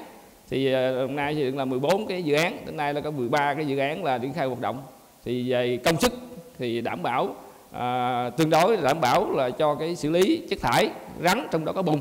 Tuy nhiên về uh, giao xử lý hiện nay là à, không có một đầu mối nào chính thức là nhận xử lý chất thải rắn trong đó có bùn thải mà tùy doanh nghiệp muốn hợp đồng với đơn vị nào là tùy ý theo hợp đồng kinh tế. Ở thì à, về cái hạn chế đó, về nhìn chung là cái việc mà à, qua cái việc hướng dẫn ban hành quy định pháp luật à, kiểm tra thanh tra xử lý. Thì công tác mà quản lý rồi thu gom giao xử lý bùng thải trong công nghiệp là nhìn chung là đều đảm bảo quy định. Không có chưa có vi phạm lớn về cái lĩnh vực này. Tuy nhiên cũng số hạn chế là hệ thống xử lý thu gom xử lý của tỉnh thì vẫn chưa đảm bảo 100% xử lý chất thải rắn trong đó có bùn của các khu nghiệp. Cái thứ hai là các khu nghiệp xử lý chất thải này triển khai rất chậm. Nhiều khi là cả chục năm mà triển khai chưa xong. Cái thứ ba là riêng cái xử lý bùn. Nhiều loại chất thải khác trong đó có bùn. Thì cái xử lý chủ yếu là à, là chung lấp. Hiện nay rất là tốn kém diện tích. Đến khi mà nếu mà trường hợp là tất cả các khu nghiệp đều mà triển khai hoạt động đầy đủ thì là diện tích đất để sử dụng cho việc chung lấp này ra rất lớn. Rồi à, việc à, như hồi nãy đó là các doanh nghiệp được quyền lựa chọn đơn vị để xử lý bùng gây ra tình trạng là nó có cạnh tranh. À, xử lý không bùng phải những bùng không mà xử lý các loại chất thải rắn khác. Và cạnh tranh vậy do đó là khi mà khả năng xử lý không đảm bảo thì gây ra ô nhiễm môi trường ở những khu vực khác không phải trong khu nghiệp. À, chương thứ sáu là chưa có đầu mối xử lý chất thải. Ôi, xin lỗi thứ năm là việc mà giao xử lý chất thải có thể là cho các doanh nghiệp ngoài tỉnh và việc phối hợp giữa cơ quan quản lý nhà nước trong tỉnh với ngoài tỉnh là cũng chưa chặt chẽ cho nên là có khoảng hở về quản lý. Thứ sáu là chưa có không nhất đầu mối về à, xử lý chất thải trong khu nghiệp.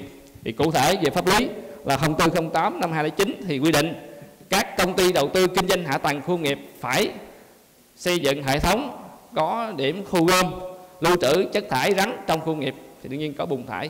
Tuy nhiên à, sau quá trình triển khai tỉnh cũng ban hành chỉ thị cho các công ty hạ tầng khu nghiệp là xây dựng cái gom lưu trữ này trung chuyển này, chất thải rắn.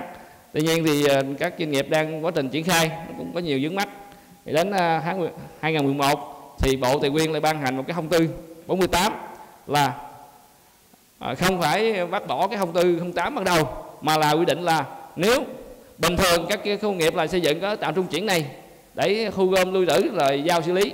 Tuy nhiên nếu mà các doanh nghiệp trong khu nghiệp đã có lựa chọn giao cho doanh nghiệp khác để thu gom xử lý rồi, thì khu, công ty hạ tầng khu nghiệp không phải xây dựng cái hệ thống thu gom và trạm trung chuyển này nữa. Do đó thì gần như các cái công ty hạ tầng khu nghiệp là đều dừng lại cái việc mà xây dựng cái trạm trung chuyển chung. Do đó là khu công nghiệp, nó, khu nghiệp nói như thế chỉ có cái nhà máy xử nước thải là đầu mối chung, còn là chưa có đầu mối để thu gom toàn bộ khu nghiệp lại.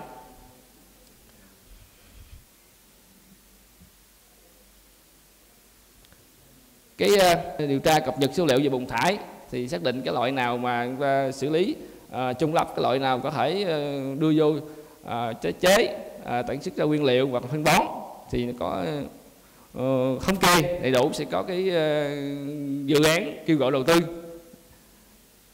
Hai là tuyên truyền nâng cao nhận thức cộng đồng trong đó chủ yếu là các doanh nghiệp và các cái đơn vị xử lý chất thải. Thứ ba là hành kiểm tra phối hợp hành điều tra uh, trong và ngoài tỉnh cái thứ tư đẩy nhanh tiến độ đầu tư xây dựng khu xử lý theo quy hoạch. Thì cái này là cũng là cái khó có triển khai nhưng mà à, rồi khu xử lý rồi nhưng mà khả năng là hạn chế nó chậm. Thứ năm nghiên cứu áp dụng công nghệ mới à, để xử lý bùn thải dùng làm nguyên liệu cho ngành công nghiệp khác. Thường là phân bón. Thì cái này thì vừa rồi ở à, đồng nai sở khoa học công nghệ có à, xuất duyệt cái đề tài của một cái doanh nghiệp công ty sonaji tuy nhiên thì cũng mới ờ, bắt đầu thôi, chưa có sự kết để đánh giá hiệu quả của nó. Cái thứ sáu là tăng cường hợp tác và liên tỉnh và hợp tác quốc tế.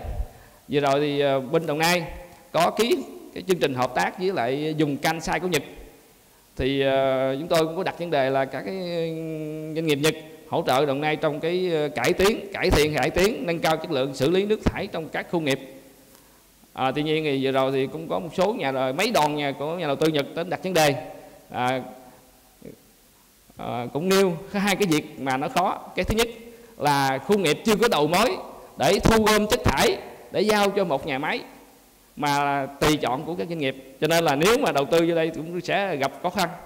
Cái thứ hai nữa là chi phí. Nhật đầu tư vô thì nói gì cái ờ, chúng ta cơ bản là đánh giá chất lượng thì tốt rồi nhưng mà cái chi phí sẽ rất cao cũng rất khó đó thì cuối cùng cái dùng kansai này cũng là đang à, hỗ trợ là đầu tư một cái dự án là xử lý rác thải đô thị. Chứ chưa có có đặt vấn đề cụ thể là xử lý cái à, à bùn thải hoặc là nước thải trong khu nghiệp. Thì à, tôi xin à, nêu một số vấn à, đề liên quan tới à, các khu nghiệp đồng nai. Và hy vọng rằng nếu à, trong các hội thảo trong chương trình này mà, mà có cái những cái chương trình nó phù hợp cho cái việc mà xử lý bùn chất thải rắn nói chung bùn thải của khu nghiệp thì à, chúng tôi sẽ tích cực à, tham gia phối hợp hợp tác để mang lại hiệu quả hơn. À, xin cảm ơn. Cứ đứng đấy anh anh cứ đứng đấy vâng à, xin à, cảm ơn đại diện của ban quản lý khu công nghiệp đồng nai. Tại vì do cái thời gian nó có hạn thôi thì à, cũng xin là có một câu hỏi thôi thì à, các quý vị đại biểu nào chúng ta muốn trao đổi thêm đại diện của ban quản lý khu công nghiệp đồng nai vâng à, xin mời chị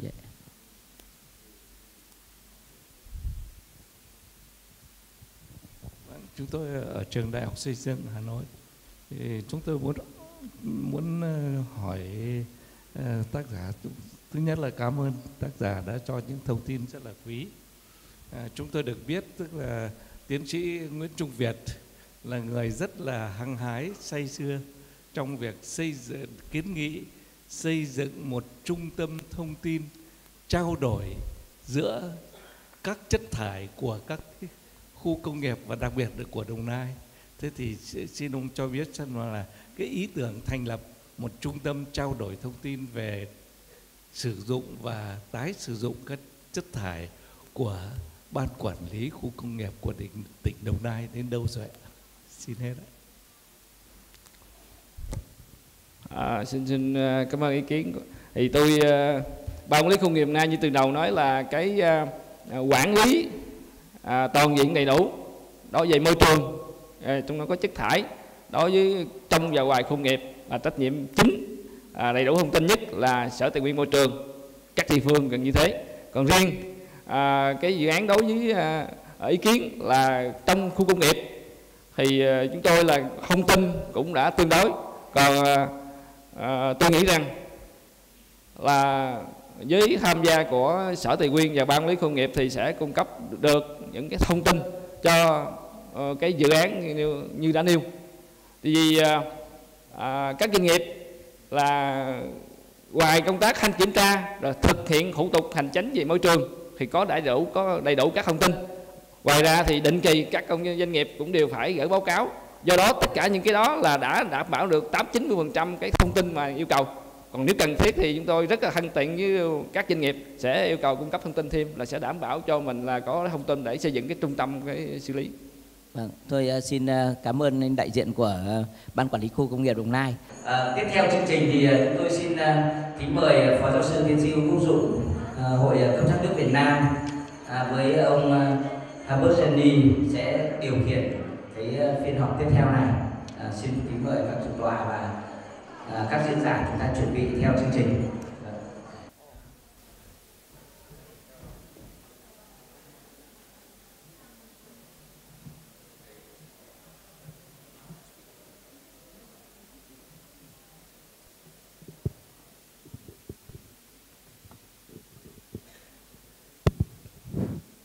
Alo.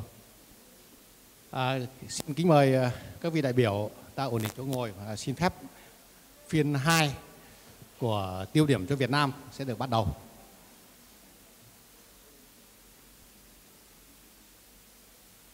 À, trước khi vào các cái báo cáo thì chúng tôi xin thống nhất như thế này. Ờ, thời gian còn lại thì không nhiều. Thế cho nên tôi yêu cầu mỗi báo cáo trình bày trong 10 phút. Và sau đó thì sẽ có cái trao đổi sau mỗi báo cáo đấy là khoảng 2 ý kiến. Thế thì những ý kiến cũng xin phép được à, nêu ngắn gọn thế và cho đúng trọng tâm và trả lời thì cũng rất là đúng vào cái trả lời của, của câu hỏi. À, tiếp theo chương trình à, chúng tôi xin à, kính mời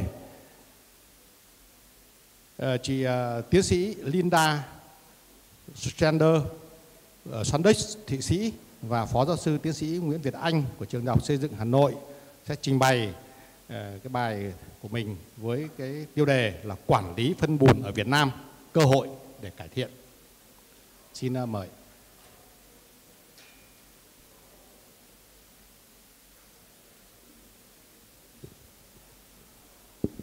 Good morning, everybody, and thank you for letting me this very big honor being here. I'm here on behalf of Linda Strande, and I'm Magali Bassan from EAVAG Sandek.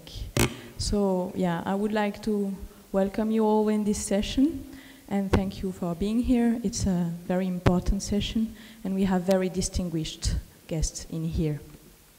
I would like to present you some suggestions for fecal sludge management in Vietnam. This is an output of many expertise and work of uh, Dr. Viet An from IESI that I'm sure every one of you know. He is a very important man in fecal sludge management in Vietnam. And this is also uh, some results that I will be presenting from a combined research we are conducting in collaboration with EAVAG Sandec, the Department of Water and Sanitation in Developing Countries at the Swiss Federal Institute of Aquatic Science, together with ISC at Hanoi University of Civil Engineering. Um, I just understand that we have only 10 minutes for presentation, so I will be very quick on context. But just I want to uh, highlight that Vietnam did a very good job at providing improved sanitation system in urban areas. So that's already a big step if you look at past, past situations. We have many septic tanks, and what we have is a pretty strange or unusual system in terms of management. So you have the black water going to the septic tanks, and just to make clear for everyone, we have two streams getting out of it. We have supernatant, which is nearly wastewater, but even um, non-densely uh, charged or loaded wastewater.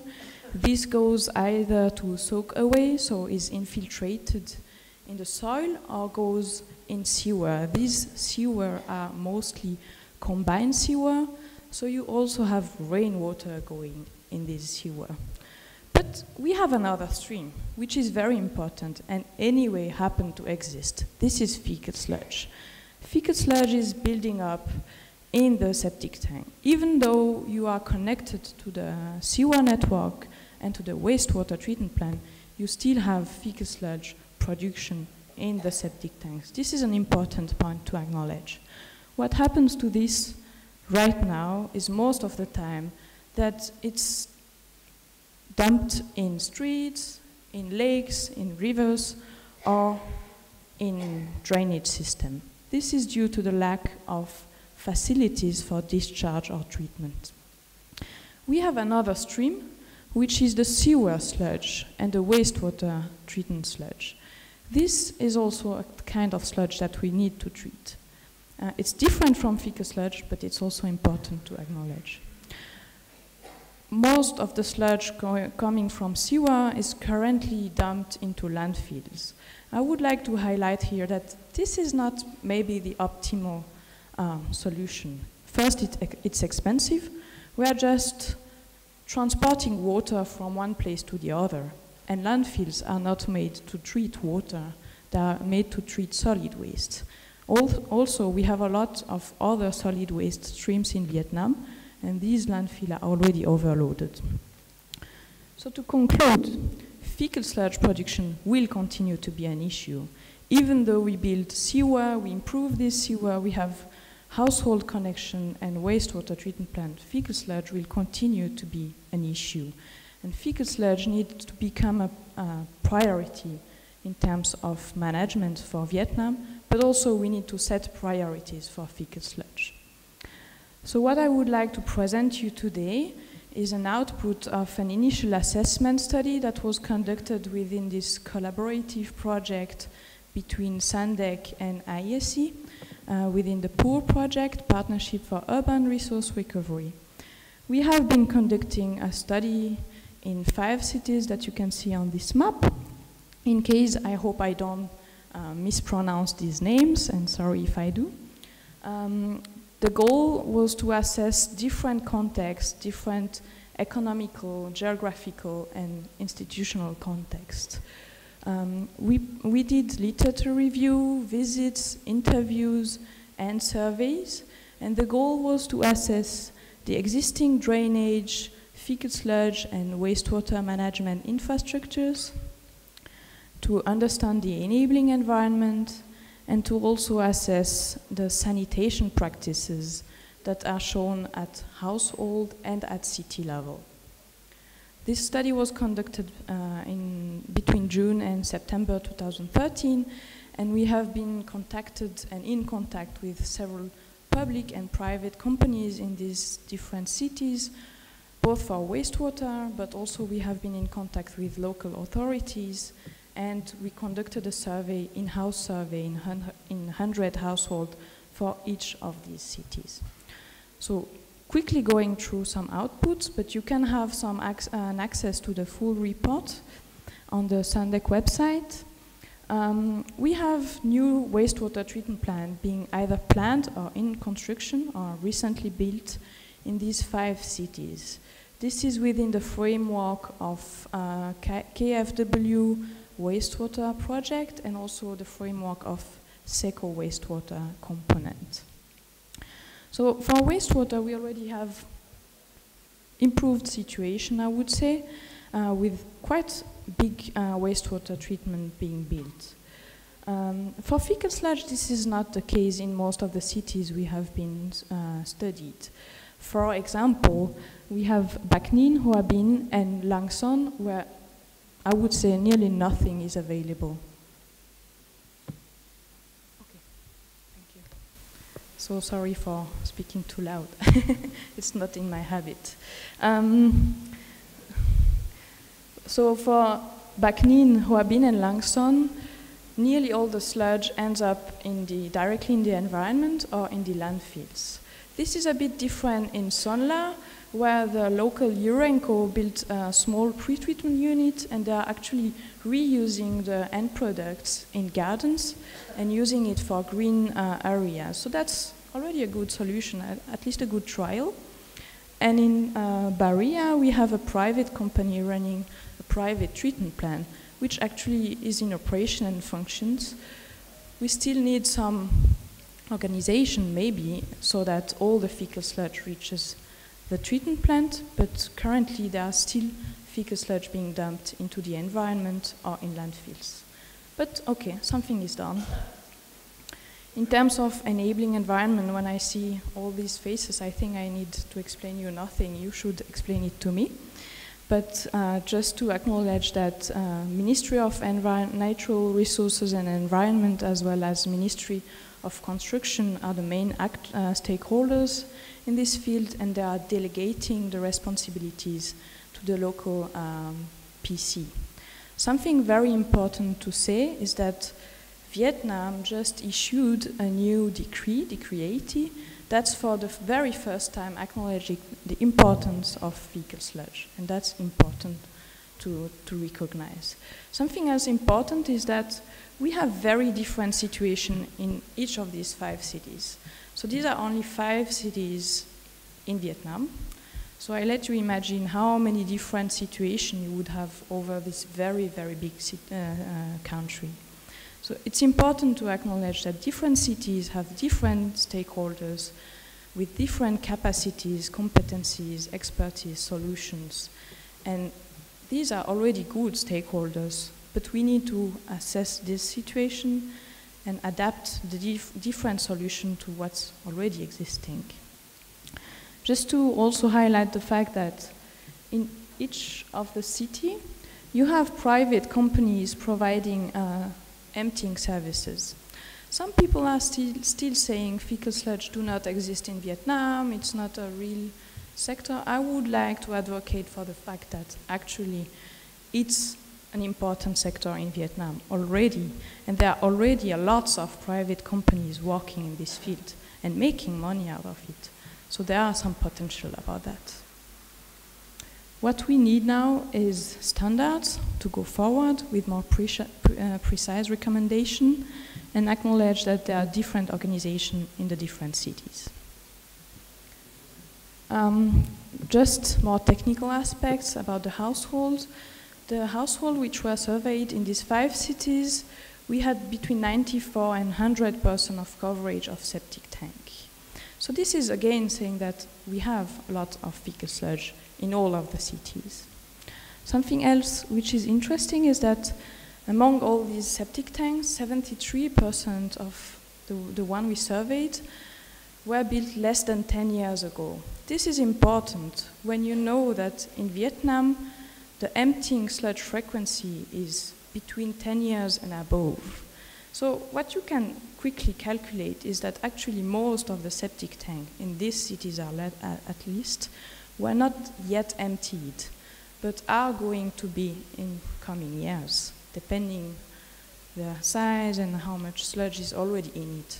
But there will be an increase in uh, fecal sludge emptying services coming years.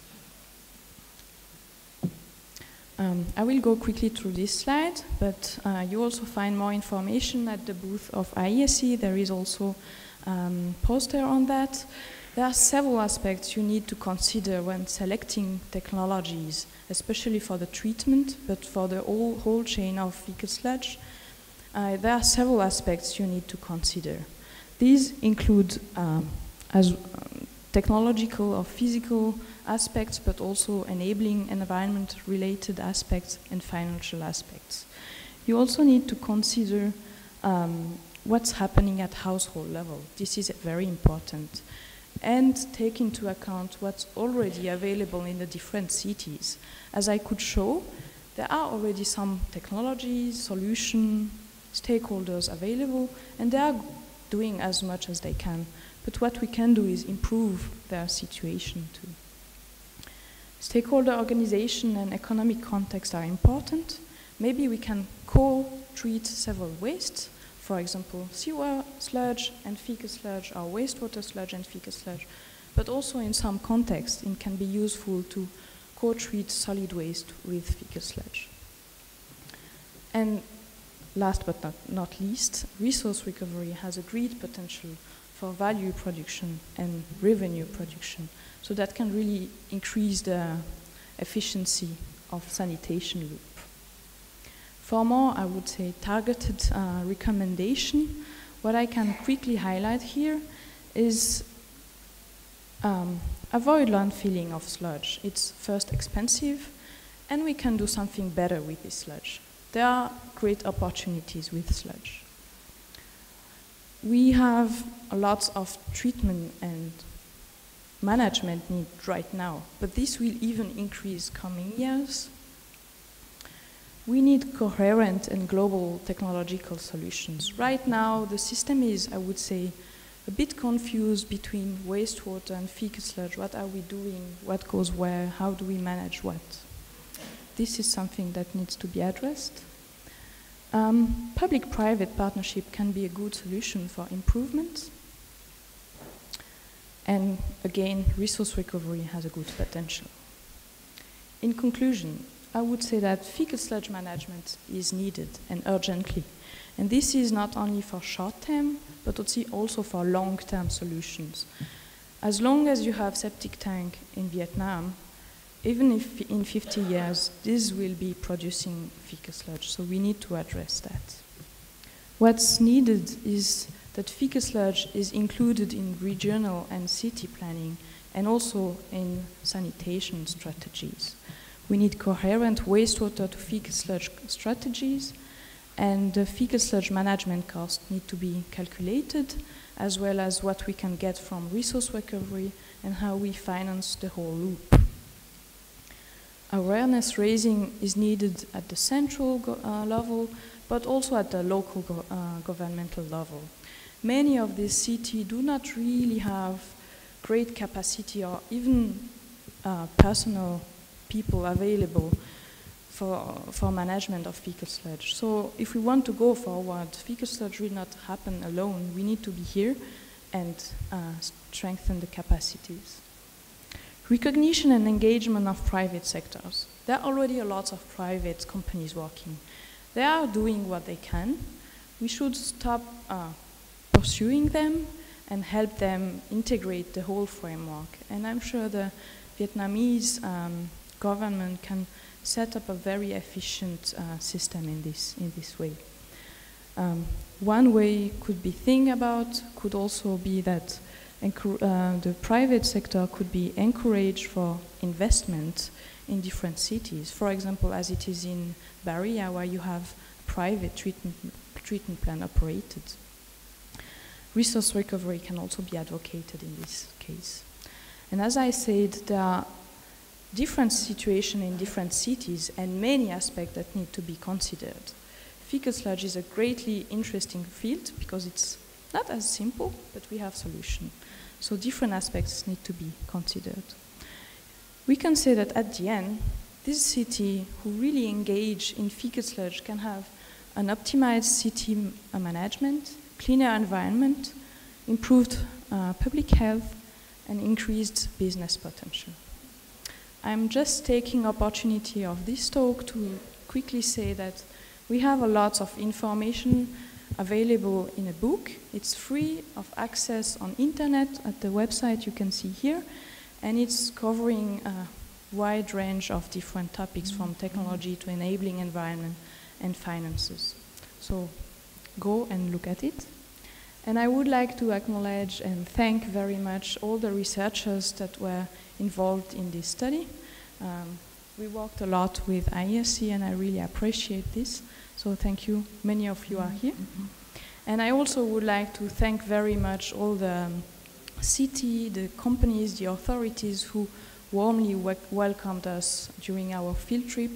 They were very helpful. They really, we, we had very interesting discussion and they provided all the needed uh, information.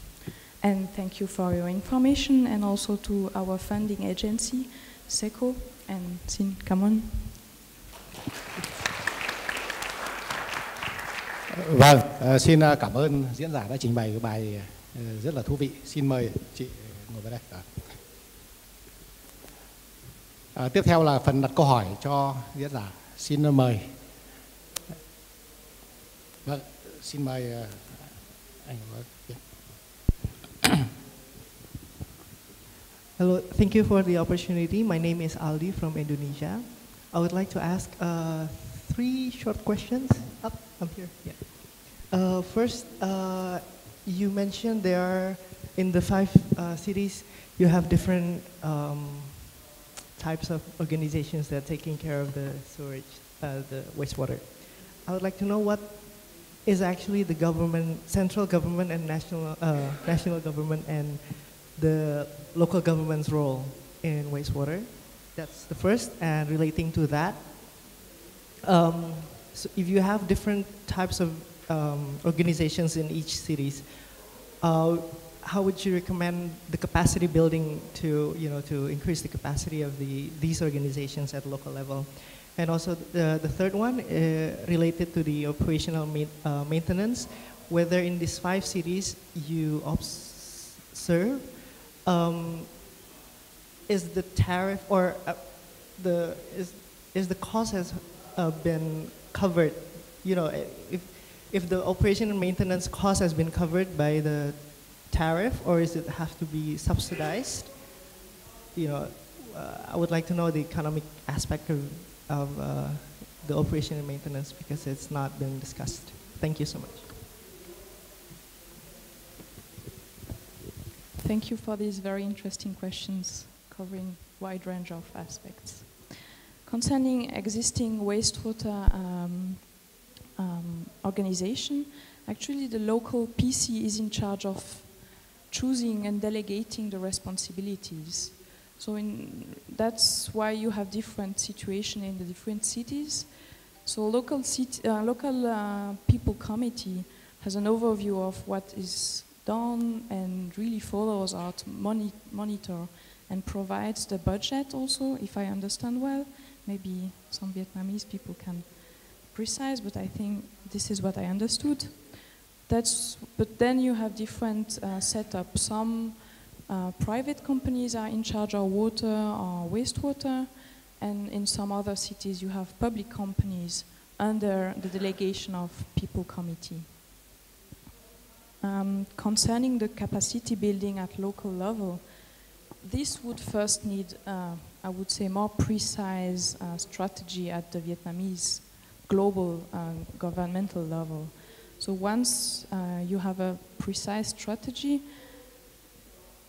I mean, the stakeholders are easily easy to identify because everything is ruled by PC. So if you go to each uh, people committee, it's easy to identify who needs uh, further capacity strengthening and then provide this. Um, concerning the operation and maintenance cost, I would say that for fecal sludge, uh, very little is done right now. So for the private company, we could um, see in Barilla, we didn't have access to the to the treatment plant, but I think uh, in this in this case, they can directly recover all the costs through uh, the taxes they, they have on based on uh, emptying services. So that's where fecal sludge is actually quite financially va uh, valuable and sustainable. And concerning the case in Sonla, it's the Urenco running this um, um, utility. It's quite small, it's very cheap to run, and they are doing it all based on the budget, so that's actually working. But of course, there is a big aspect that need to be improved also uh, about the tariffs. P we need to acknowledge that waste management has some cost and all of us need to pay for it. So, of course, uh, tariffs need to be adapted.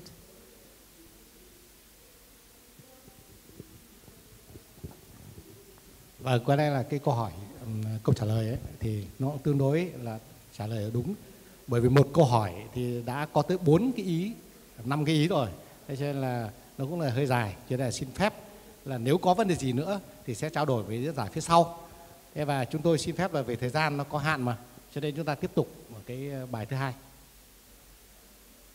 À, ở phần 1 chúng ta đã nghe báo cáo về quản lý phân bùn của các thành phố lớn Hà Nội, rồi Hải Phòng. À, tiếp theo ở à, Việt Nam còn có một thành phố lớn nữa đó là Hồ Chí Minh. À, bây giờ xin mời là những cái bài học kinh nghiệm từ quản lý phân bùn của thành phố Hồ Chí Minh. Xin mời đại diện công ty môi trường đô thị thành phố Hồ Chí Minh lên báo cáo.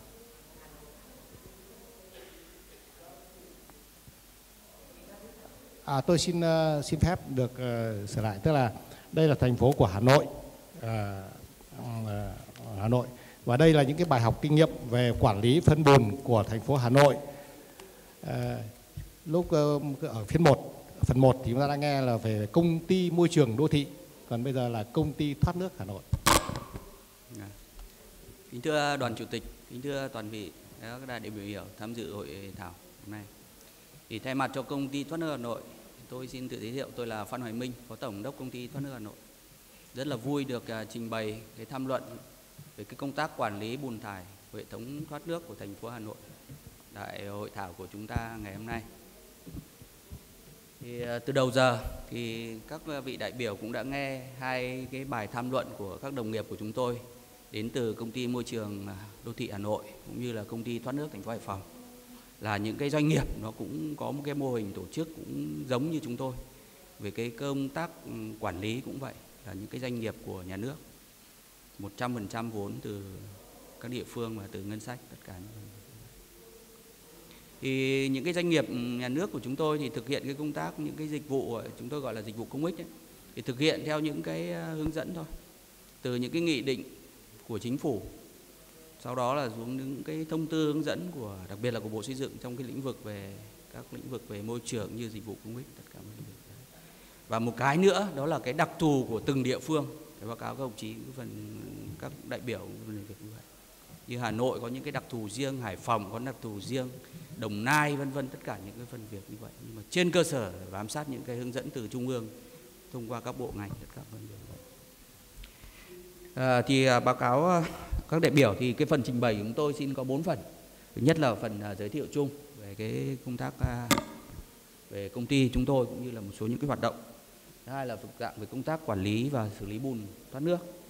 Thứ ba là định hướng và các giải pháp và phần cuối là đề xuất kiến nghị. Tôi sẽ xin à, đi rất là nhanh thôi thực thời gian chúng ta không còn nhiều. Đấy, thì báo cáo các đồng chí trên đây là hình ảnh của thành phố Hà Nội thôi. Công ty thoát nước Hà Nội chúng tôi quản lý cái hệ thống thoát nước với nhiệm vụ chính là hai cái nhiệm vụ chính đó là cái công tác thoát nước chống úng ngập trong mùa mưa và xử lý nước thải thì trong đó có cái khâu bùn thải tất cả mọi việc như vậy. Đấy thì công ty chúng tôi thành lập từ năm 73 cho đến nay đã hơn 40 năm hình thành và phát triển. À, một số những cái hoạt động của công ty thì đã được Đảng và Nhà nước à, ghi nhận và các bộ bộ xây dựng, bộ tài nguyên môi trường vân vân có những cái phần thưởng bằng khen phần thưởng. Ờ, phương châm của chúng tôi là chất lượng là phát, sự phát triển bền vững và cái công tác quản lý về bám sát với cả hiện trường. Ngành nghề thì xin phép tôi không nhắc lại nữa, đấy là hai cái lĩnh vực là thoát nước và xử lý nước thải. Thì trong đó có một cái nhiệm vụ nữa là cái liên danh liên kết để mà đưa vào áp dụng những công nghệ với với các các tổ chức nước ngoài trong và ngoài nước đặc biệt là các tổ chức nước ngoài. Vì cơ cấu tổ chức của chúng tôi thì có ban giám đốc và các phòng ban nghiệp vụ. Và phía dưới là có 12 xí nghiệp trực thuộc với tổng số cán bộ công nhân viên của chúng tôi đến thời điểm này là khoảng hơn 2.200 con người. Cả phần việc như vậy. Thì hệ thống trên đây là cái hệ thống quản lý à, mà thành phố Hà Nội đang giao chúng tôi quản lý là hơn à, gần hơn gần 1.000 km cống. Các ga thăm thu hệ thống mương sông hồ và các trạm bơm à, nhà máy các nhà máy xử lý nước thải. Đến thời điểm này và cái bãi bãi bùn bãi xử lý bùn mà phần trình bày tiếp theo sẽ tập trung vào cái phần thứ hai tôi xin trình bày về thực trạng công tác quản lý và xử lý bùn thải thoát nước của thành phố Hà Nội Đấy, thì báo cáo các đồng chí là chúng tôi là hàng tháng, hàng, hàng quý thì chúng tôi được thành phố giao là duy tu duy trì cái hệ thống thoát nước của tất cả hệ thống cống, mương, sông, hồ trên địa bàn của thành phố Hà Nội. Đây là một vài những cái hình ảnh thực hiện bằng thủ công, bằng cơ giới, tất cả những cái phần việc mà chúng tôi đang nạo vét. Hình bên uh, trái kia là, là nạo vét bằng công tông hệ thống trên sông, uh, nạo vét các hố ga trên đường phố, vân vân. Và hình đây là một cái hình ảnh một cái nhà máy xử lý nước thải về cái công tác uh, vận chuyển về bùn và xử lý bùn thì trên đây là cái khối lượng hàng năm chúng tôi vận chuyển và xử lý bùn hàng năm và đây là có một cái những cái giả định à, phát triển những cái hệ thống công tác bùn trong các năm tới, đến năm 2018 thì như năm 2009 là một năm là chúng tôi vận à, vận chuyển và xử lý khoảng 92.000 tấn bùn Đến năm 2013 là nay một khoảng gần 110.000 tấn bùn. Đấy, và tốc độ tỷ lệ tăng trưởng bình quân khoảng 4% một năm. Và dự kiến trong năm, đến năm 2018 thì sẽ xử lý và vận chuyển khoảng 120 130.000 tấn bùn một năm. Đấy là báo cáo các ông chí là đại biểu là cái số liệu này là chưa bao gồm của những cái nhà máy xử lý nước thải bùn tập trung tại các trạm xử lý nước thải. Mà trong thời gian từ nay đến 2018 thì dự kiến Hà Nội cũng sẽ có thêm một vài những cái trạm xử lý nước thải quy mô tập trung nữa. Đây là một số những cái phần trang thiết bị của chúng tôi để phục vụ cho công tác à, chống ngập trong cái mùa mưa và trong cái uh, xử lý bùn. Đây là một số những cái trang thiết bị cụ thể ngành xe vận chuyển bùn để đưa xuống bãi là cái ở phía màu xanh bên trên kia thì theo quy định về môi trường thì chúng tôi là à, tất cả những cái xe phải kín khít để trong quá trình vận chuyển bùn không để gây ra ảnh hưởng đến môi trường từ cái việc nước dò dỉ của bùn và đến cái mùi ảnh hưởng đến môi trường xung quanh và đặc biệt là chúng tôi được thành phố bàn à, giao cho quản lý một cái dàn thiết bị cơ giới khoảng gần một cái trăm xe cái xe hút và xe tép để vận chuyển và thông tắc nạo vét hệ thống. Đấy, thì ờ, báo cáo các các đại biểu thì trên đây là chúng tôi trong cái quá trình phân tích, theo dõi cái chất lượng bùn thì có một số những cái phần về cái tính chất của bùn của bùn thải từ hệ thống thoát nước. Thì phần lớn đó là cái chất thải từ các công trình xây dựng. Thứ hai là hàm lượng vô cơ, là hàm lượng chất vô cơ. Thứ ba là hàm lượng chất phức tạp chất là lẫn rác và cái độ ẩm của bùn là rất là cao. Đây là cái kết quả cụ thể về cái phần, về cái, những cái kết quả phân tích về cái hàm lượng bùn. Ờ, của cái hệ thống thoát nước. Về cơ bản là cái hàm lượng nước có độ ẩm trung bình khoảng 80 đến 92 phần trăm. À, và cái tỷ lệ hữu cơ ở trong bùn rất là cao.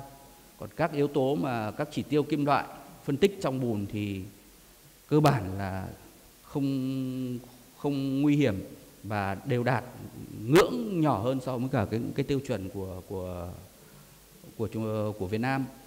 Về nói tóm lại về cái hàm lượng bùn, chất lượng bùn thì coi có thể coi là không phải là chất thải nguy hại theo quy định của Việt Nam.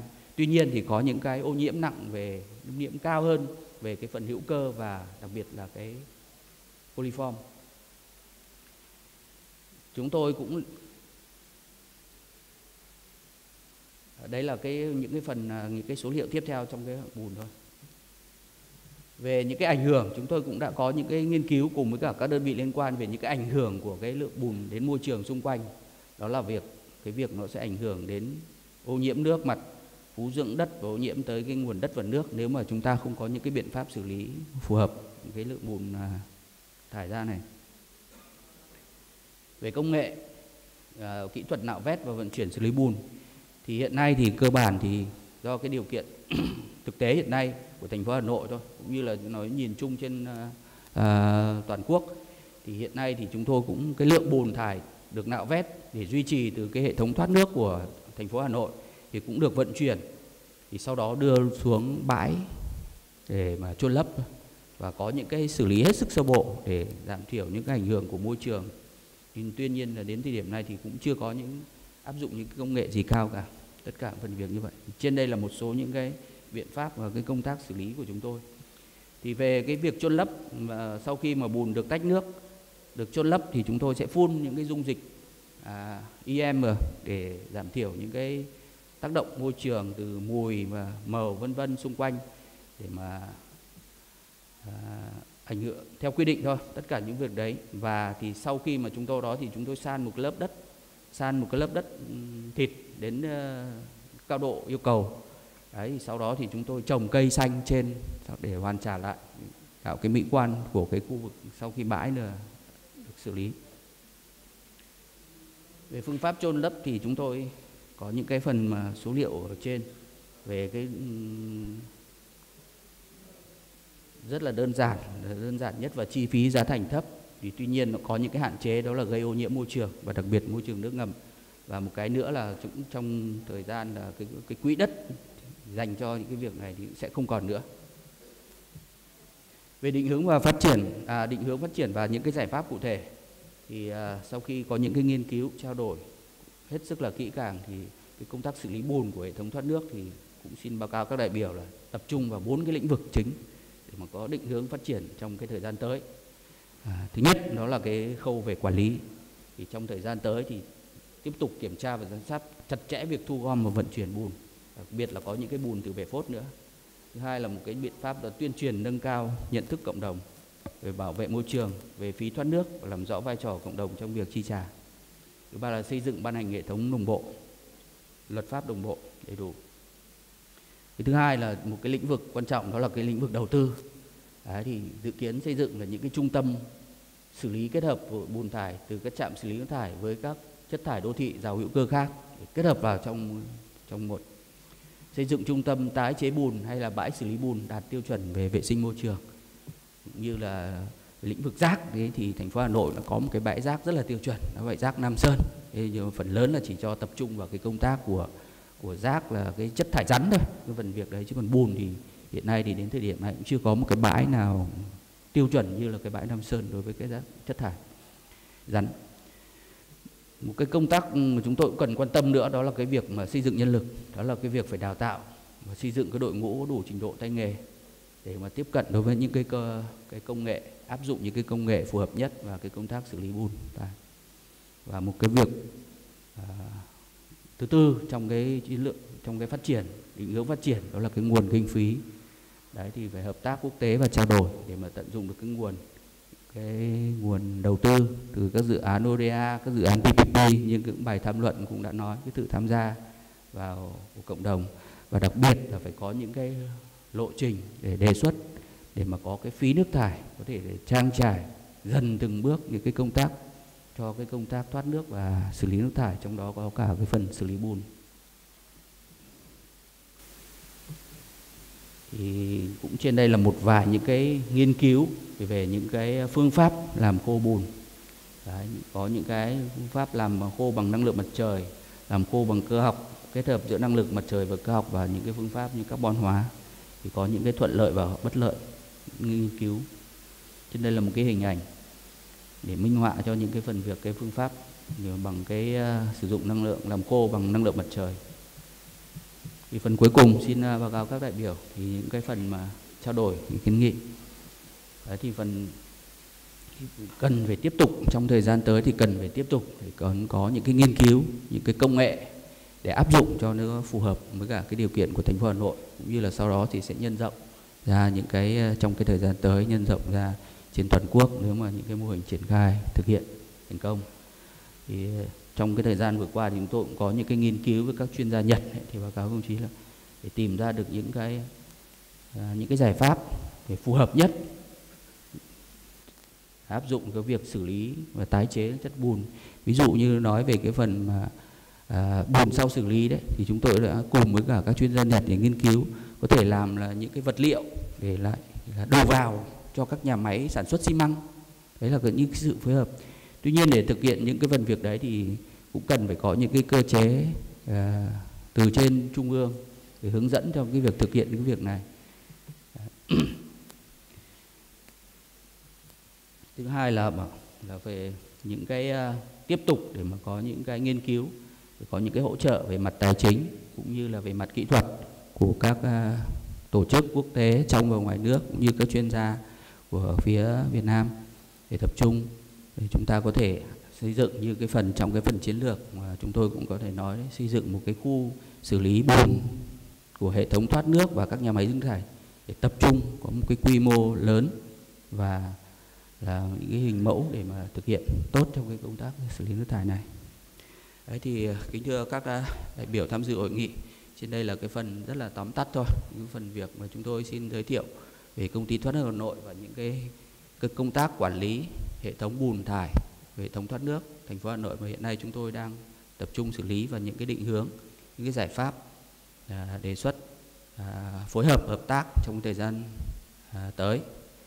Đấy thì cũng rất là mong muốn là những cái tham gia những ý kiến đóng góp của các đại biểu và cũng muốn mời nếu mà các vị đại biểu có thời gian thì có thể tham gia xuống tham quan cái trạm à, cái mô hình xử lý bùn của chúng tôi ở đây cách ở khoảng à, 15 km từ đây cái phần việc như vậy ở dưới Yên Sở để mà chúng các bạn có những cái đóng góp giúp thêm cho chúng tôi để làm tốt những cái công tác về quản lý cái, cái chất thải từ bùn cũng như là những định hướng phát triển trong cái thời gian tiếp theo.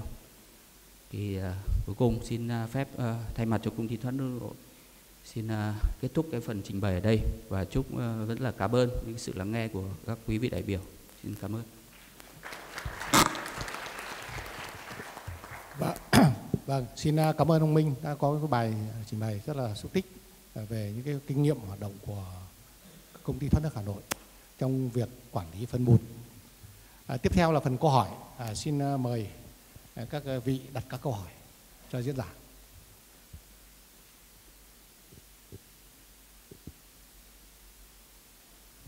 Xin mời ạ. Vâng, xin mời chị. Thank you. I am Dona from Jakarta, uh, Indonesia.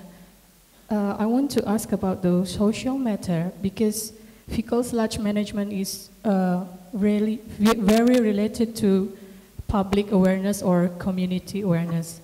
Uh, from your presentation, I want to ask what kind of action that you have been done related to how to improve a community awareness related to the fecal sludge management. Thank you. Vâng, xin cảm ơn câu hỏi. À, tiếp theo, xin mời đại biểu tiếp theo. No. Xin mời ông Tuấn ạ. Vâng.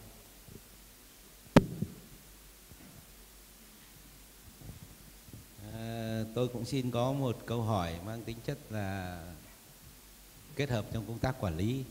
Thứ nhất là Urenco thì à, có đại biểu của Urenco đã trình bày là cái lượng bùn thải 500 đến 700 mét khối một ngày. Thế và 10% thì được thu gom bởi Urenco. Vậy thì 90% còn lại à, theo tôi hiểu thì cũng tương đối nhiều sẽ chảy vào hệ thống thoát nước. Và công ty thoát nước thì cũng đi thu cái, cái lượng bùn trên hệ thống thoát nước này. Thế, tuy nhiên thì Urenco và công ty thoát nước kết hợp với nhau như thế nào về mặt chuyên môn? Vì hai đơn vị có hai cái hướng xử lý khác nhau. Tôi nghĩ cái định hướng sắp tới nên phải thống nhất. À, nên thống nhất thì nó sẽ hiệu quả hơn. Đấy là cái ý thứ nhất là có thể trao đổi được. Cái thứ à, ý thứ hai là trong 10% cái tiền thu từ cái cấp nước thì à, Urenco và công ty thoát nước này chia sẻ như thế nào? Được chia sẻ như thế nào cho cái việc xử lý này. Tại vì nếu mà theo như lý thuyết bình thường thôi thì đến cái lượng mà bùn mà công ty thoát nước phải xử lý nhiều hơn Urenco. Bởi vì Urenco thu được có 10% cái lượng bùn này thôi. Đấy, có thể là các cái đơn vị khác cũng thu tuy nhiên là nó ra hệ thống cống để trở thành là bùn thải của hệ thống cống. Thực chất nó vẫn là bản chất từ bùn ra cộng với các loại chất thải khác ở trên hệ thống. Thì tôi xin có hai ý kiến trao đổi. Vâng, xin, à, cảm ơn ý kiến của anh Tuấn. Đây là những cái ý kiến rất là thực tế, à, rất là thực tế trong quá trình quản lý phân bùn đối với Hà Nội thì là có hai cái đơn vị cùng quản lý phân bùn. Đấy, xin ờ, mời ờ, diễn giả Minh sẽ trả lời câu hỏi. Vâng, à, xin à, cảm ơn hai ý kiến, à, hai câu hỏi từ hai đại biểu. Tôi xin trả lời cái phần đầu, cái câu hỏi thứ nhất của chị Dona đến từ Indonesia. Thì tôi cũng nhất trí hoàn toàn với ý kiến của đại biểu đến từ Indonesia. Thì chúng ta cùng là những nước đang phát triển. Nên cái công tác, cái, cái, cái ý thức của cộng đồng nó rất là quan trọng trong cái giúp cho chúng ta được hoàn thành những cái nhiệm vụ mà được ví dụ như ở bên chị là những cái chính quyền địa phương giao cũng như ở bên phía chúng tôi là thành phố giao do cái vậy thì hàng năm thì chúng tôi đều xây dựng cái cái lộ trình cũng như là cái kế hoạch về tuyên truyền đối với cái công tác bảo vệ môi trường đặc biệt trong cái lĩnh vực thoát nước và xử lý nước thải đấy thì chúng tôi à, tổ chức những cái cái buổi họp và xuống tới các địa phương, các tổ dân phố.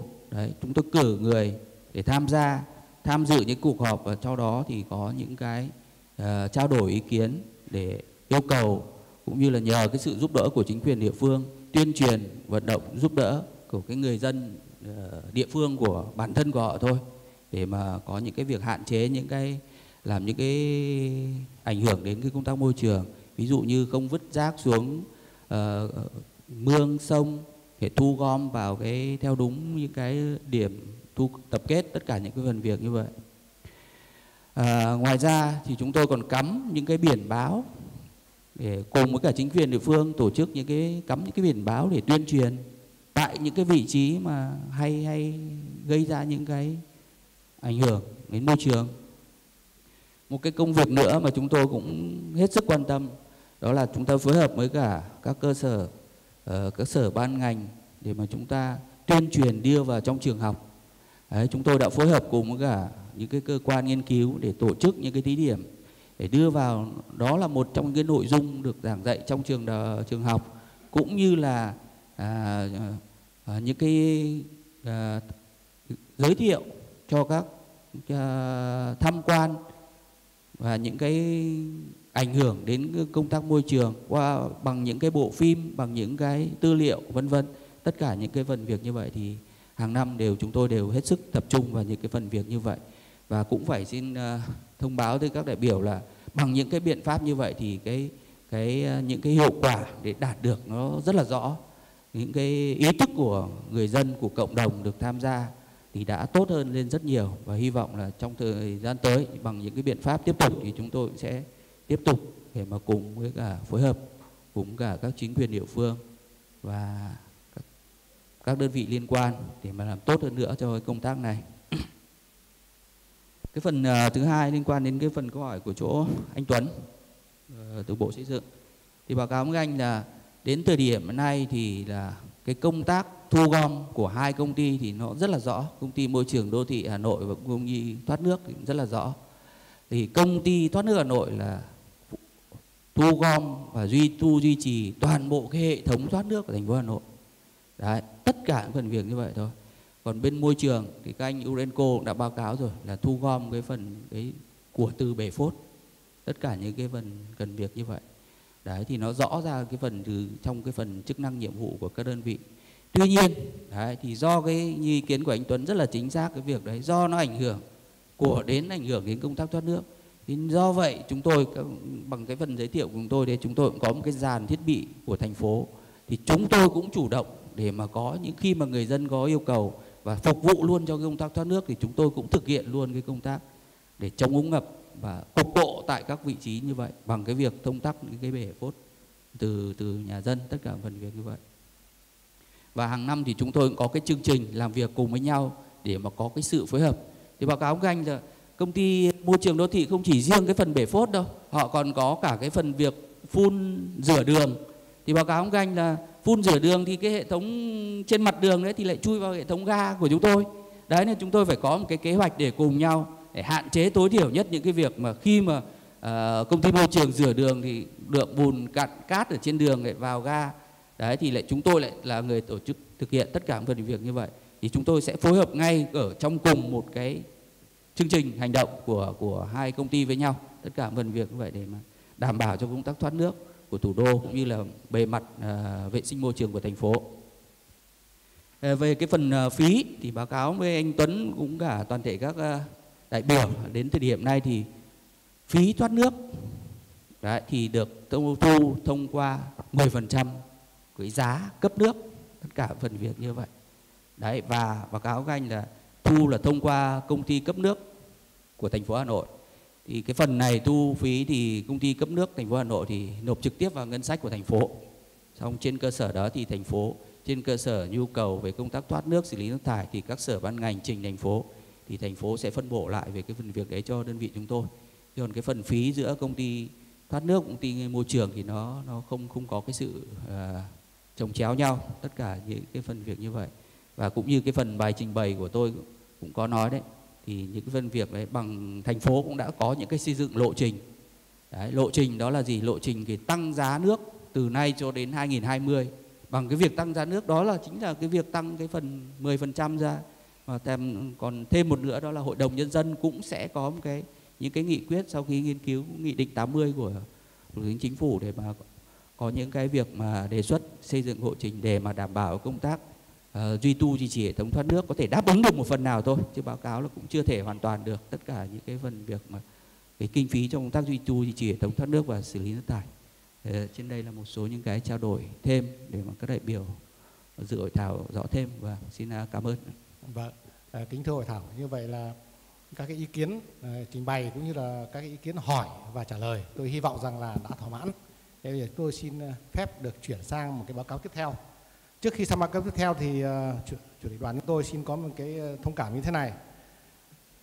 Cái bài báo cáo về uh, xử lý bùn thải và tái sử dụng bùn làm phân bón ở Đà Lạt, Lâm Đồng thì xin phép được chuyển sang uh, sang cái phần A bởi vì có một cái tác giả có trùng cái báo cáo cho nên chúng tôi xin chuyển cái báo cáo tiếp theo là báo cáo của tiến sĩ Hidonori Harada từ trường đại học Tokyo à, từ trường đại học nói Kyoto của Nhật Bản sẽ báo cáo với cái chủ đề là các yếu tố ảnh hưởng đến thành phần tính chất phân bùn và ảnh hưởng của chế độ hút bùn đến hiệu quả làm việc của bể tự hoại.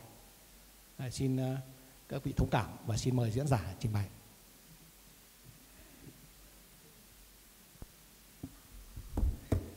À, xin cảm ơn giới thiệu tôi. À, tôi tên là Hidenori Harada, giáo viên Đại học Kyoto, Nhật Bản. Hôm nay rất vui bởi vì có presentation nhiều người Việt Nam. Nhưng mà tiếng Việt tôi là con tốt, so xin lỗi nói tiếng Anh nhé. So I speak, I switch language from Vietnamese to English. Uh, uh, thank you for uh, many, many guests. Uh, my presentation is about the uh, stage composition and also operating condition, how it's related, then what is the impact of the future treatment. So for the introduction, as already many presenters introduced, the septic tank is vital for the urban uh, wastewater management. And the septage management is also vital, and the septage need to be treated uh, properly. But the actually, there is very, very behind the ideal situation in many, many uh, Asian countries. To thinking about the treatment, we need to know about the composition of septage, but there is a huge variety of septage uh, composition likely due to wide variety of operating conditions and also other uh, factors. Uh, of course, that affect the performance of uh, sludge treatment facilities. So the purpose of my study is to know the influential factors of septic tanks operating condition on septage uh, composition and also uh, discharging effect of septic tank performance of uh, pollutant removal. Uh, then uh, we want to think what is the expected impacts on future FSM in Hanoi and also uh, we would like to collect essential data to design a treatment plant. My such uh, collection campaign is conducted in a small community in Hanoi, Laisa. Let's move to the methodology. We need sludge, so we requested uh, 46 free dispatching volunteer households in Laisa Hamlet, Vietnam. Firstly, we interviewed on septic tank basic conditions, like uh, how many people are using septic tanks, and the dimension, discharging interval, and the type of toilet, and any additives on the tank. Then we sample septic tank effluent after flushing toilet. Typically, uh, septic tanks in Hanoi are discharged to the channel, so we get the water before the channel. Then, this is a big task. Uh, typically, septic tank in Hanoi doesn't have any of the accessing port to inside. So we have to make a hole to access to the inside. Then uh, before the discharging, we check the inside about the solid layer and the liquid layer by using two different methodology. One using uh, a, a pole with plate. Another, we get the vertical samples. Then we check the two layers different ways and cross-check each other. The sludge sampling was initially conducted by two different methodology. One is compo composite sampling at a discharging location. Uh, when suction truck discharge septage, we collect one liter of septage every one minute. Then mix together, then we can obtain a composite sample. Another is uh, we call cylinder sampling. Uh, by using the uh, pipe, we got the vertical samples to keep the layer, then we mix it together. So we tested uh, pH, conductivity, etc. on the on-site, and also in the laboratory, COD, BOD, such kind of basic parameters for septage composition. Let's move to the results and discussion. Uh, at, the begin at the beginning, we need to know the effect of sampling methodology.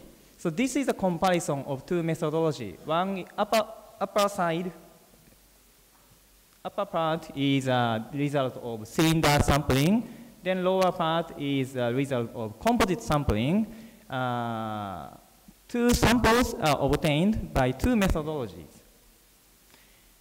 Yeah, clearly uh, uh, we can see the composite sampling has a higher concentration compared to the cylinder sampling. Probably this is because of the capturing on the, the most concentrated bottom sludge. Probably the cylinder sampling cannot capture enough the bottom sludge. That's why uh, we think composite sampling is better to avoid the dropping bottom sludge. So the following all the result is sampled by the composite sampling methodology.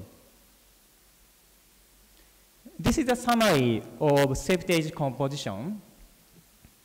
Firstly, mostly the composition data is distributed non-parametrically. That's why the mainly we discuss about the data by using uh, median, not mean. Uh, septic tank uh, septage composition in, uh, uh, in Hanoi is somehow similar to the septage composition in many Southeast Asian countries, but a bit different from that in developed countries. Especially to look at the SS and VSS, surprisingly there is a much VSS compared to SS. That means more uh, decomposable uh, organic matter is uh, still contained in septage in Hanoi. And the next is effect of septage source between public toilet, from public toilet or from private household. This can also give us the very, very uh, clear result. The upper part show the septage from private houses and the lower part show the septage from public toilets. the, very clearly, the septage from private houses has the higher concentration in terms of organics. And the uh, public toilet septage uh, has a much higher concentration of nitrogen. This can be e uh, understood very easily. In the outside, people don't do defecate very much. People do urinate often. They typically do defecate in their house. That's why we have this kind of difference. The next is effect of operating condition of septage composition. Firstly, we try to understand the effect of discharging interval on septage condition. The horizontal axis show the discharging interval, and the vertical axis show the septage suspended solid concentration and BOD concentration. But as shown in this figure, we couldn't find a clear uh, any trend against discharging interval. Then we uh, thought about the adjusted discharging interval. That is uh, discharging interval times user number divided by tank size. Then these figures show uh, vertical, uh, sorry, horizontal axis show the adjusted, adjusted discharging interval, and the vertical show the septage SS and BOD again. Then we can see a significant interrelation between the adjusted uh, discharging interval against the organic concentration of septic tanks. But the, to see the determinant coefficient value, R square, uh, the explanatory part of variance of this trend is uh, limited. So the remaining variance possibly by, uh, can be explained by the toilet user behavior or septic tank design, etc. But we are not so sure from this survey. And the next is uh, bottom sludge accumulation. Uh, this figure show uh, the horizontal axis show the bottom sludge accumulation rate, liter per person per year. Then uh, the vertical uh, axis show the frequency. The median of the rate is 7.8, mean is 10.6. this value is quite low compared to the data, uh, septage accumulation data in uh, different developed countries. Possibly uh, this lower uh, rate is due to uh, the influence of toilet uh, in Vietnam, they only receive toilet waste or little toilet paper, they don't discharge all the toilet paper into the toilet. Maybe only fast wipe will be discharged, but the, not all typically. And higher temperature in Vietnam or lower performance of settling. But the, if we check the dislodging interval and the bottom sludge accumulation rate, uh, shorter dislodging interval uh, give the higher bottom sludge accumulation rate. That means new septic tank or newly discharged septic tank accumulate more uh, septic tank. to thinking about the uh, average discharging interval in this uh, community, that is more than 10 years, maybe too long discharging interval also one of the reasons of this very low accumulation rate. The next is uh, effluent quality of septic tank. Again, to check the distribution of the composition, that is non-parametric distribution. That's why we see the median value. To see the median value, that is very different from uh, mean value, the SS concentration is quite low compared to BOD and COD. Even the operating condition of septic tank is not so ideal, but somehow it's working for as a settling tank. And next is effect of septic tanks operating condition on effluent water quality. Uh, again, we used adjusted retention time. The horizontal axis show the vertical retention time, adjusted retention time, and the vertical show the effluent SS con concentration and BOD concentration.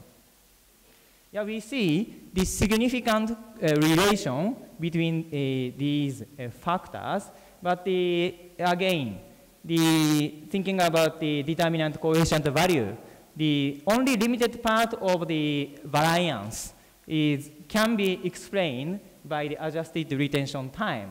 Maybe because of the, can be again, uh, also, uh, moreover, explained by the hydraulic retention time. That is average 50.4 days in this, uh, in this uh, target area. That's decreased uh, due to the accumulation of septage. But the remaining variance that is much bigger than explained variance, uh, possibly explained by septic tank design and detailed toilet use behavior, etc. But again, we are not so sure. So this is the last slide, discussion and conclusion. One, one of the message, we uh, be careful of sludge composition after scheduled discharging because uh, composition is affected by discharging frequency, interval, adjusted discharging time, also the ratio between public toilet and uh, private toilet. So at city scale, the increase of private septage compared to public toilet would have impact to increase of organic concentration and the decrease of nitrogen, probably. Then treatment technology for the composition, uh, treatment technology must cope with these composition according to dislodging strategy. But this dislodging strategy fundamentally should be closely related to sewerage development strategy. Next, be careful of data under different conditions. As shown uh, the, uh, in the comparison of the septage accumulation rate between Vietnam and developing countries, there is a significant gap. So uh, we have to learn uh, what is the difference and what is the similarity very, very clearly. And the next is uh, frequent discharging uh, probably affect the positively septic tank performance, which will contribute pollution control positively. And this will be a political motivation for discharging campaign from the aspect of pollution control. But again, a large part of quality variety cannot be explained by only dislodging. So uh, it should be together with action on septic tank design, including an accessing port and also household proper usage, etc., etc. That's all. Thank you very much for your kind attention. Vâng, uh, xin uh, cảm ơn bài trình bày của tiến sĩ uh, Harada. Và, và tiếp theo thì uh, xin mời uh, các uh, vị đại biểu đặt các câu hỏi.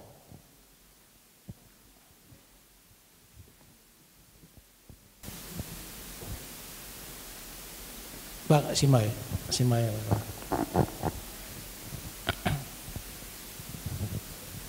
Uh, that was very good. I, am kind of surprised um, that the uh, concentrations were so low since they don't take gray water in the septics, that therefore basically just the human waste from the toilet. Um, I'm wondering if it's just the human waste from the toilet, um, what the final solid, for instance, if you're picking it up on a vacuum truck, you drill the hole in the, I assume the septic tank's normally underneath the toilet then. And if you drilled a hole, what would be the final concentration of the solids?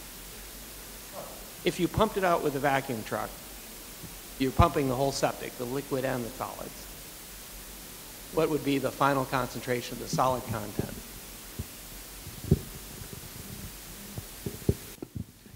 Uh, thank you very much for your question. Uh, about the final concentration of salt after sucking out.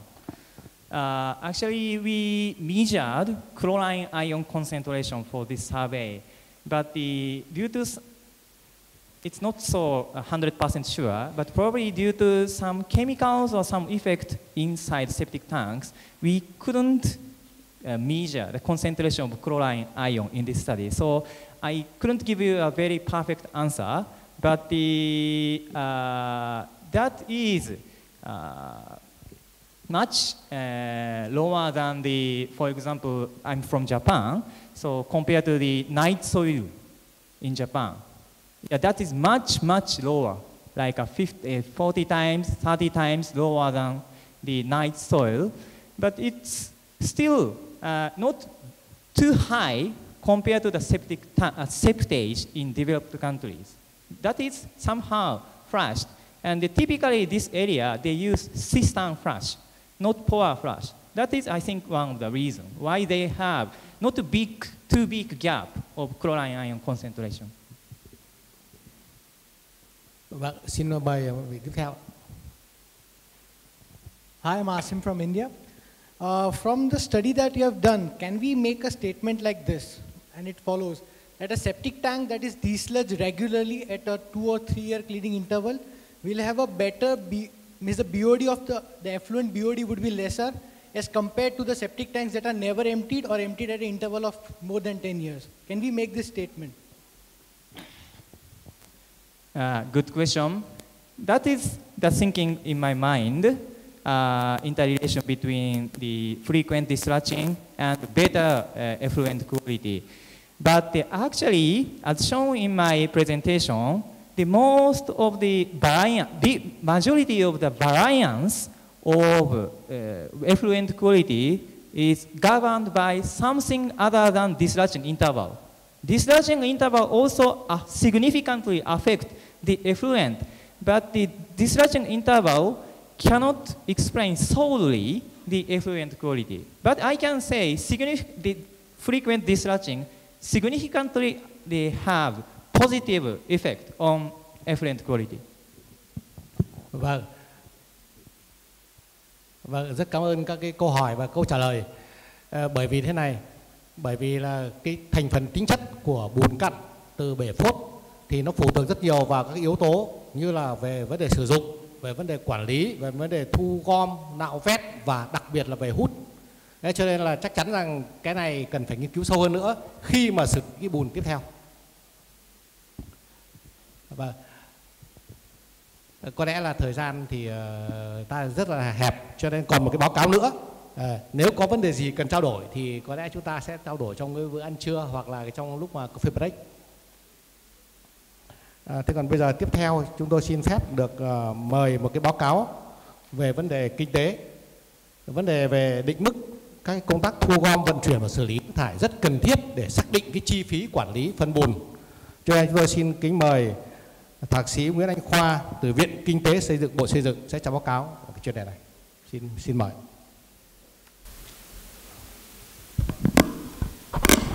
À, xin uh, kính chào quý vị uh, đại biểu tham dự hội nghị ngày hôm nay. À, tôi xin tự giới thiệu tôi là Nguyễn Anh Khoa, trưởng phòng kinh tế hạ tầng kỹ thuật đến từ Viện Kinh tế Xây dựng Bộ Xây dựng. Hôm nay đến với hội nghị thì tôi xin uh, trình bày một cái bài thông luận về uh, hệ thống định mức uh, kinh tế kỹ thuật cho công tác thu gom, vận chuyển và xử lý bùn thải. À, tôi xin phép trình bày. À, tôi, về cái uh, nội dung trình bày tôi thì tôi sẽ, sẽ trình bày ba cái phần. Cái thứ nhất là về cái thực trạng về quá trình hình thành hệ thống định mức kinh tế kỹ thuật cho công tác thu gom, vận chuyển và xử lý bùn thải. Cái thứ hai là những cái nội dung chủ yếu về của cái tập định mức uh, về dự toán duy trì hệ thống thoát nước đô thị thì bao gồm cả công tác nạo vét vận chuyển và bùn thải công bố kèm theo quyết định uh, số 591 uh, quyết định của Bộ trưởng Bộ Xây dựng ngày 30 tháng 5 2014 và cái vấn đề nữa là một ờ, số đề xuất nhằm từng bước xây dựng ờ, cái hệ thống định mức cho công tác xử lý bùn thải. À, kính thưa toàn vị quý vị đại biểu, thì tôi về cái về thực trạng về quá trình hình thành cái hệ thống định mức kinh tế kỹ thuật cho công tác thu gom và vận chuyển và xử lý bùn thải đến nay thì tôi xin trình bày như sau. À, trước những năm 2000 ấy, thì Bộ Xây dựng thì chưa ban hành hoặc là công bố trên phạm vi toàn quốc cái, cái hệ thống định mức kinh tế kỹ thuật cho công tác thu gom vận chuyển uh, vận chuyển và xử lý nước thải hay ta nói là duy trì hệ thống thoát nước nói chung cũng như là cái công tác thu gom vận chuyển và xử lý bùn thải nói riêng. À, thế đến đầu những năm 2000 Bộ Xây dựng cũng đã, cũng đã tiến hành nghiên cứu và ban hành áp dụng à, trên toàn quốc hệ thống định mức dự toán cho lĩnh vực duy trì hệ thống thoát nước. Trong đó có bộ trong đó có nội dung là về công tác thu gom và vận chuyển bùn nhưng mới chỉ dừng lại việc uh, ban hành định mức dự toán cho công tác nạo vét bùn và uh, Ờ, với phương pháp thủ công và vận chuyển bùn bằng các phương, ờ, phương tiện đơn giản. Ờ, cũng nhân đây thì tôi cũng lúc đấy là có hai cái bài tham luận giữa công ty môi trường đô thị và công ty thoát nước Hà Nội thì cũng xin làm rõ với các quý vị đại biểu là hiện nay đối với công tác thu gom vận chuyển và xử lý phân bùn bể phốt và bùn do hệ thống thoát nước thì nó lại đang thuộc hai lĩnh vực hai tập định mức khác nhau đối với chỗ anh Minh ở công ty thoát nước Hà Nội thì nó lại nằm ở trong cái ờ, cái vận chuyển và thu gom hệ thống bùn ờ, của hệ thống thoát nước thì nó lại trong cái tập định mức về duy trì hệ thống thoát nước. Còn trước đây thì đối với cả cái định mức mà thu gom ờ, phân bùn bể phốt thì lại cho bên tập định mức và vệ sinh môi trường đô thị. Và đến trong, trong những năm gần đây thì ừ, cũng tôi xin giới thiệu lại cái hệ thống định mức này là gì? Là giúp cho các cơ quan quản lý nhà nước cụ thể là các địa phương để là xác định được cái định mức các hao phí để từ đó để xác định đơn giá để nhà nước có thể xây dựng cái đơn giá để chi trả cho cho các công ty duy trì cái các lĩnh vực này. Đấy, thì có có những cái lĩnh vực thì mà phải nhà nước phải chi trả thì mới có những cái hệ thống định mức này. Còn sau một thời gian nghiên cứu ví dụ như cái phân bùn bể phốt thì ờ, công ty môi trường đô thị chủ anh Cường sáng nay có cái bài tham luận thì các anh ấy lại là thu trực tiếp của người dân thế chúng tôi cũng đã sau quá trình nghiên cứu thì chúng tôi là cũng loại bỏ nó ra cái hệ thống định mức dịch vụ công ích đô thị. Những cái lĩnh vực mà theo nghị định 130 là hoặc là do nhà nước chi trả toàn bộ hoặc là do nhà nước trợ giá một phần. Đấy thì đây là cái hệ thống định mức thì chúng tôi xin nói qua về cái quản lý về cái hình thành cái hệ thống định mức này như thế. Thì vào gần đây nhất thì chúng tôi cũng giúp bộ xây dựng đã công bố về sửa đổi và công bố cái tập định mức cho công tác duy trì hệ thống thoát nước đô thị kèm theo cái quyết định 591 như tôi vừa đã nói, để xác định cái chi phí duy trì hệ thống thoát nước đô thị. Nội dung ờ, chính của thẩm định mức là công bố cho công tác nạo vét, thu gom, vận chuyển và bằng thủ công. Những cái này trước đây là đã có rồi, thì chúng tôi tiến hành sửa đổi điều chỉnh, cũng như là bổ sung ờ, một cái số cái định mức ờ, về về về về nạo vét bằng cơ giới mà trước đây là chưa có thì sau quá trình theo dõi thì chúng tôi cũng ờ, cũng đã tiến hành để đưa vào. Nhưng mà những cái phần nạo vét và cơ giới thì những cái là chung nhất thôi. Đấy.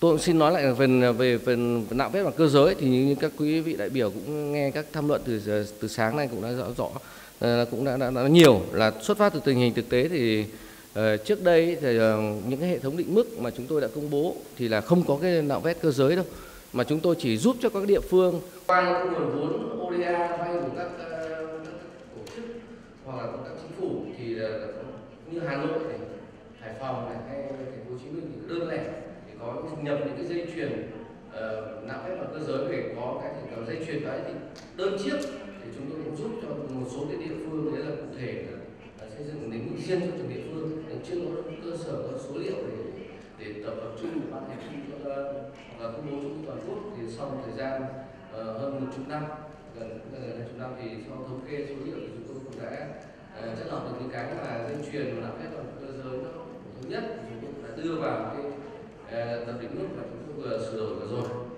Nên tôi xin uh, trình bày là qua những cái, cái, cái lịch sử cái thực trạng của quá trình hình thành cái hệ thống định mức kinh tế kỹ thuật cho các thu gom vật xử lý nguồn thải để dạ, cụ thể là nếu trong trường hợp là duy trì hệ thống cái duy trì thoát nước thôi. Còn trong ờ, sau đây tôi sẽ trình bày cụ thể về cái nội dung của cái tờ định mức ban hành theo cái quyết định 591 thì báo cáo các quý vị đại biểu, thì đối với cái ờ, quyết định 591 về của bộ trưởng bộ xây dựng về việc công bố cái ờ, hệ thống định mức dự toán duy trì hệ thống thoát nước đô thị, thì cái thứ nhất thì có tập định mức này là hai phần. Cái phần thứ nhất là chứng minh định mức dự toán duy trì hệ thống thoát nước đô thị thì nội dung thì nó công bố những cái, cái hao phí cần thiết về nhân công về vật liệu về phương tiện để hoàn thành công tác duy trì thoát nước đô thị. Phạm vi công việc có liên quan đến ờ, là những công việc mà để đảm bảo duy trì hệ thống thoát nước đô thị. Rồi căn cứ xác lập các hệ thống bước này thì là các quy trình kỹ thuật đang áp dụng và phổ biến về công tác duy trì hệ thoát nước đô thị. Rồi thì số liệu tình hình sử dụng lao động trang thiết bị xe máy kỹ thuật cũng kết quả ứng dụng tiến bộ khoa học kỹ thuật và thực tiễn duy trì ở thống đô thị đang à, được à, triển khai ở các đô thị ở Việt Nam. Và cái nữa là cũng căn cứ trên cơ sở cái nghị định 42 về phân loại đô thị để chúng tôi làm cơ sở để điều chỉnh những cái cho nó phù hợp.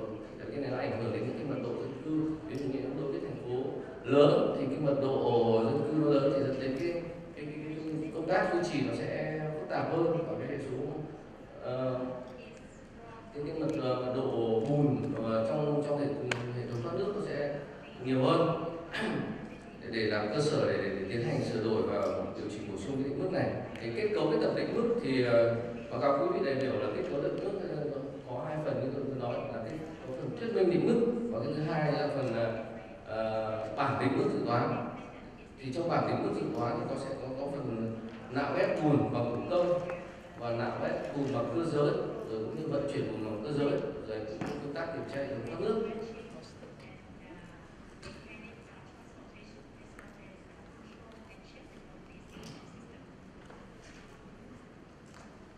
Nên là chúng này trong, xin lỗi quý vị đại biểu là nó cũng trong cái PowerPoint nó thiếu cái phần cái phần tôi đi vào chi tiết là cái ờ, hướng dẫn áp dụng cái định mức cái hệ thống định mức này thì là cũng ờ, nói như, như tôi đã nói là để các tổ chức cá nhân liên quan tham khảo sử dụng vào việc lập và quản lý chi phí duy trì hàng không nước rồi nó ban hành những cái hao phí những quy định là những cái hao phí về công cụ lao động rồi thì như chổi xẻ cán vân vân được trực tiếp sử dụng quá trình thực hiện công việc thì nó được theo cái uh, không có trong cái định mức này mà nó được theo cái tỷ lệ phần trăm theo cái chi phí quản lý.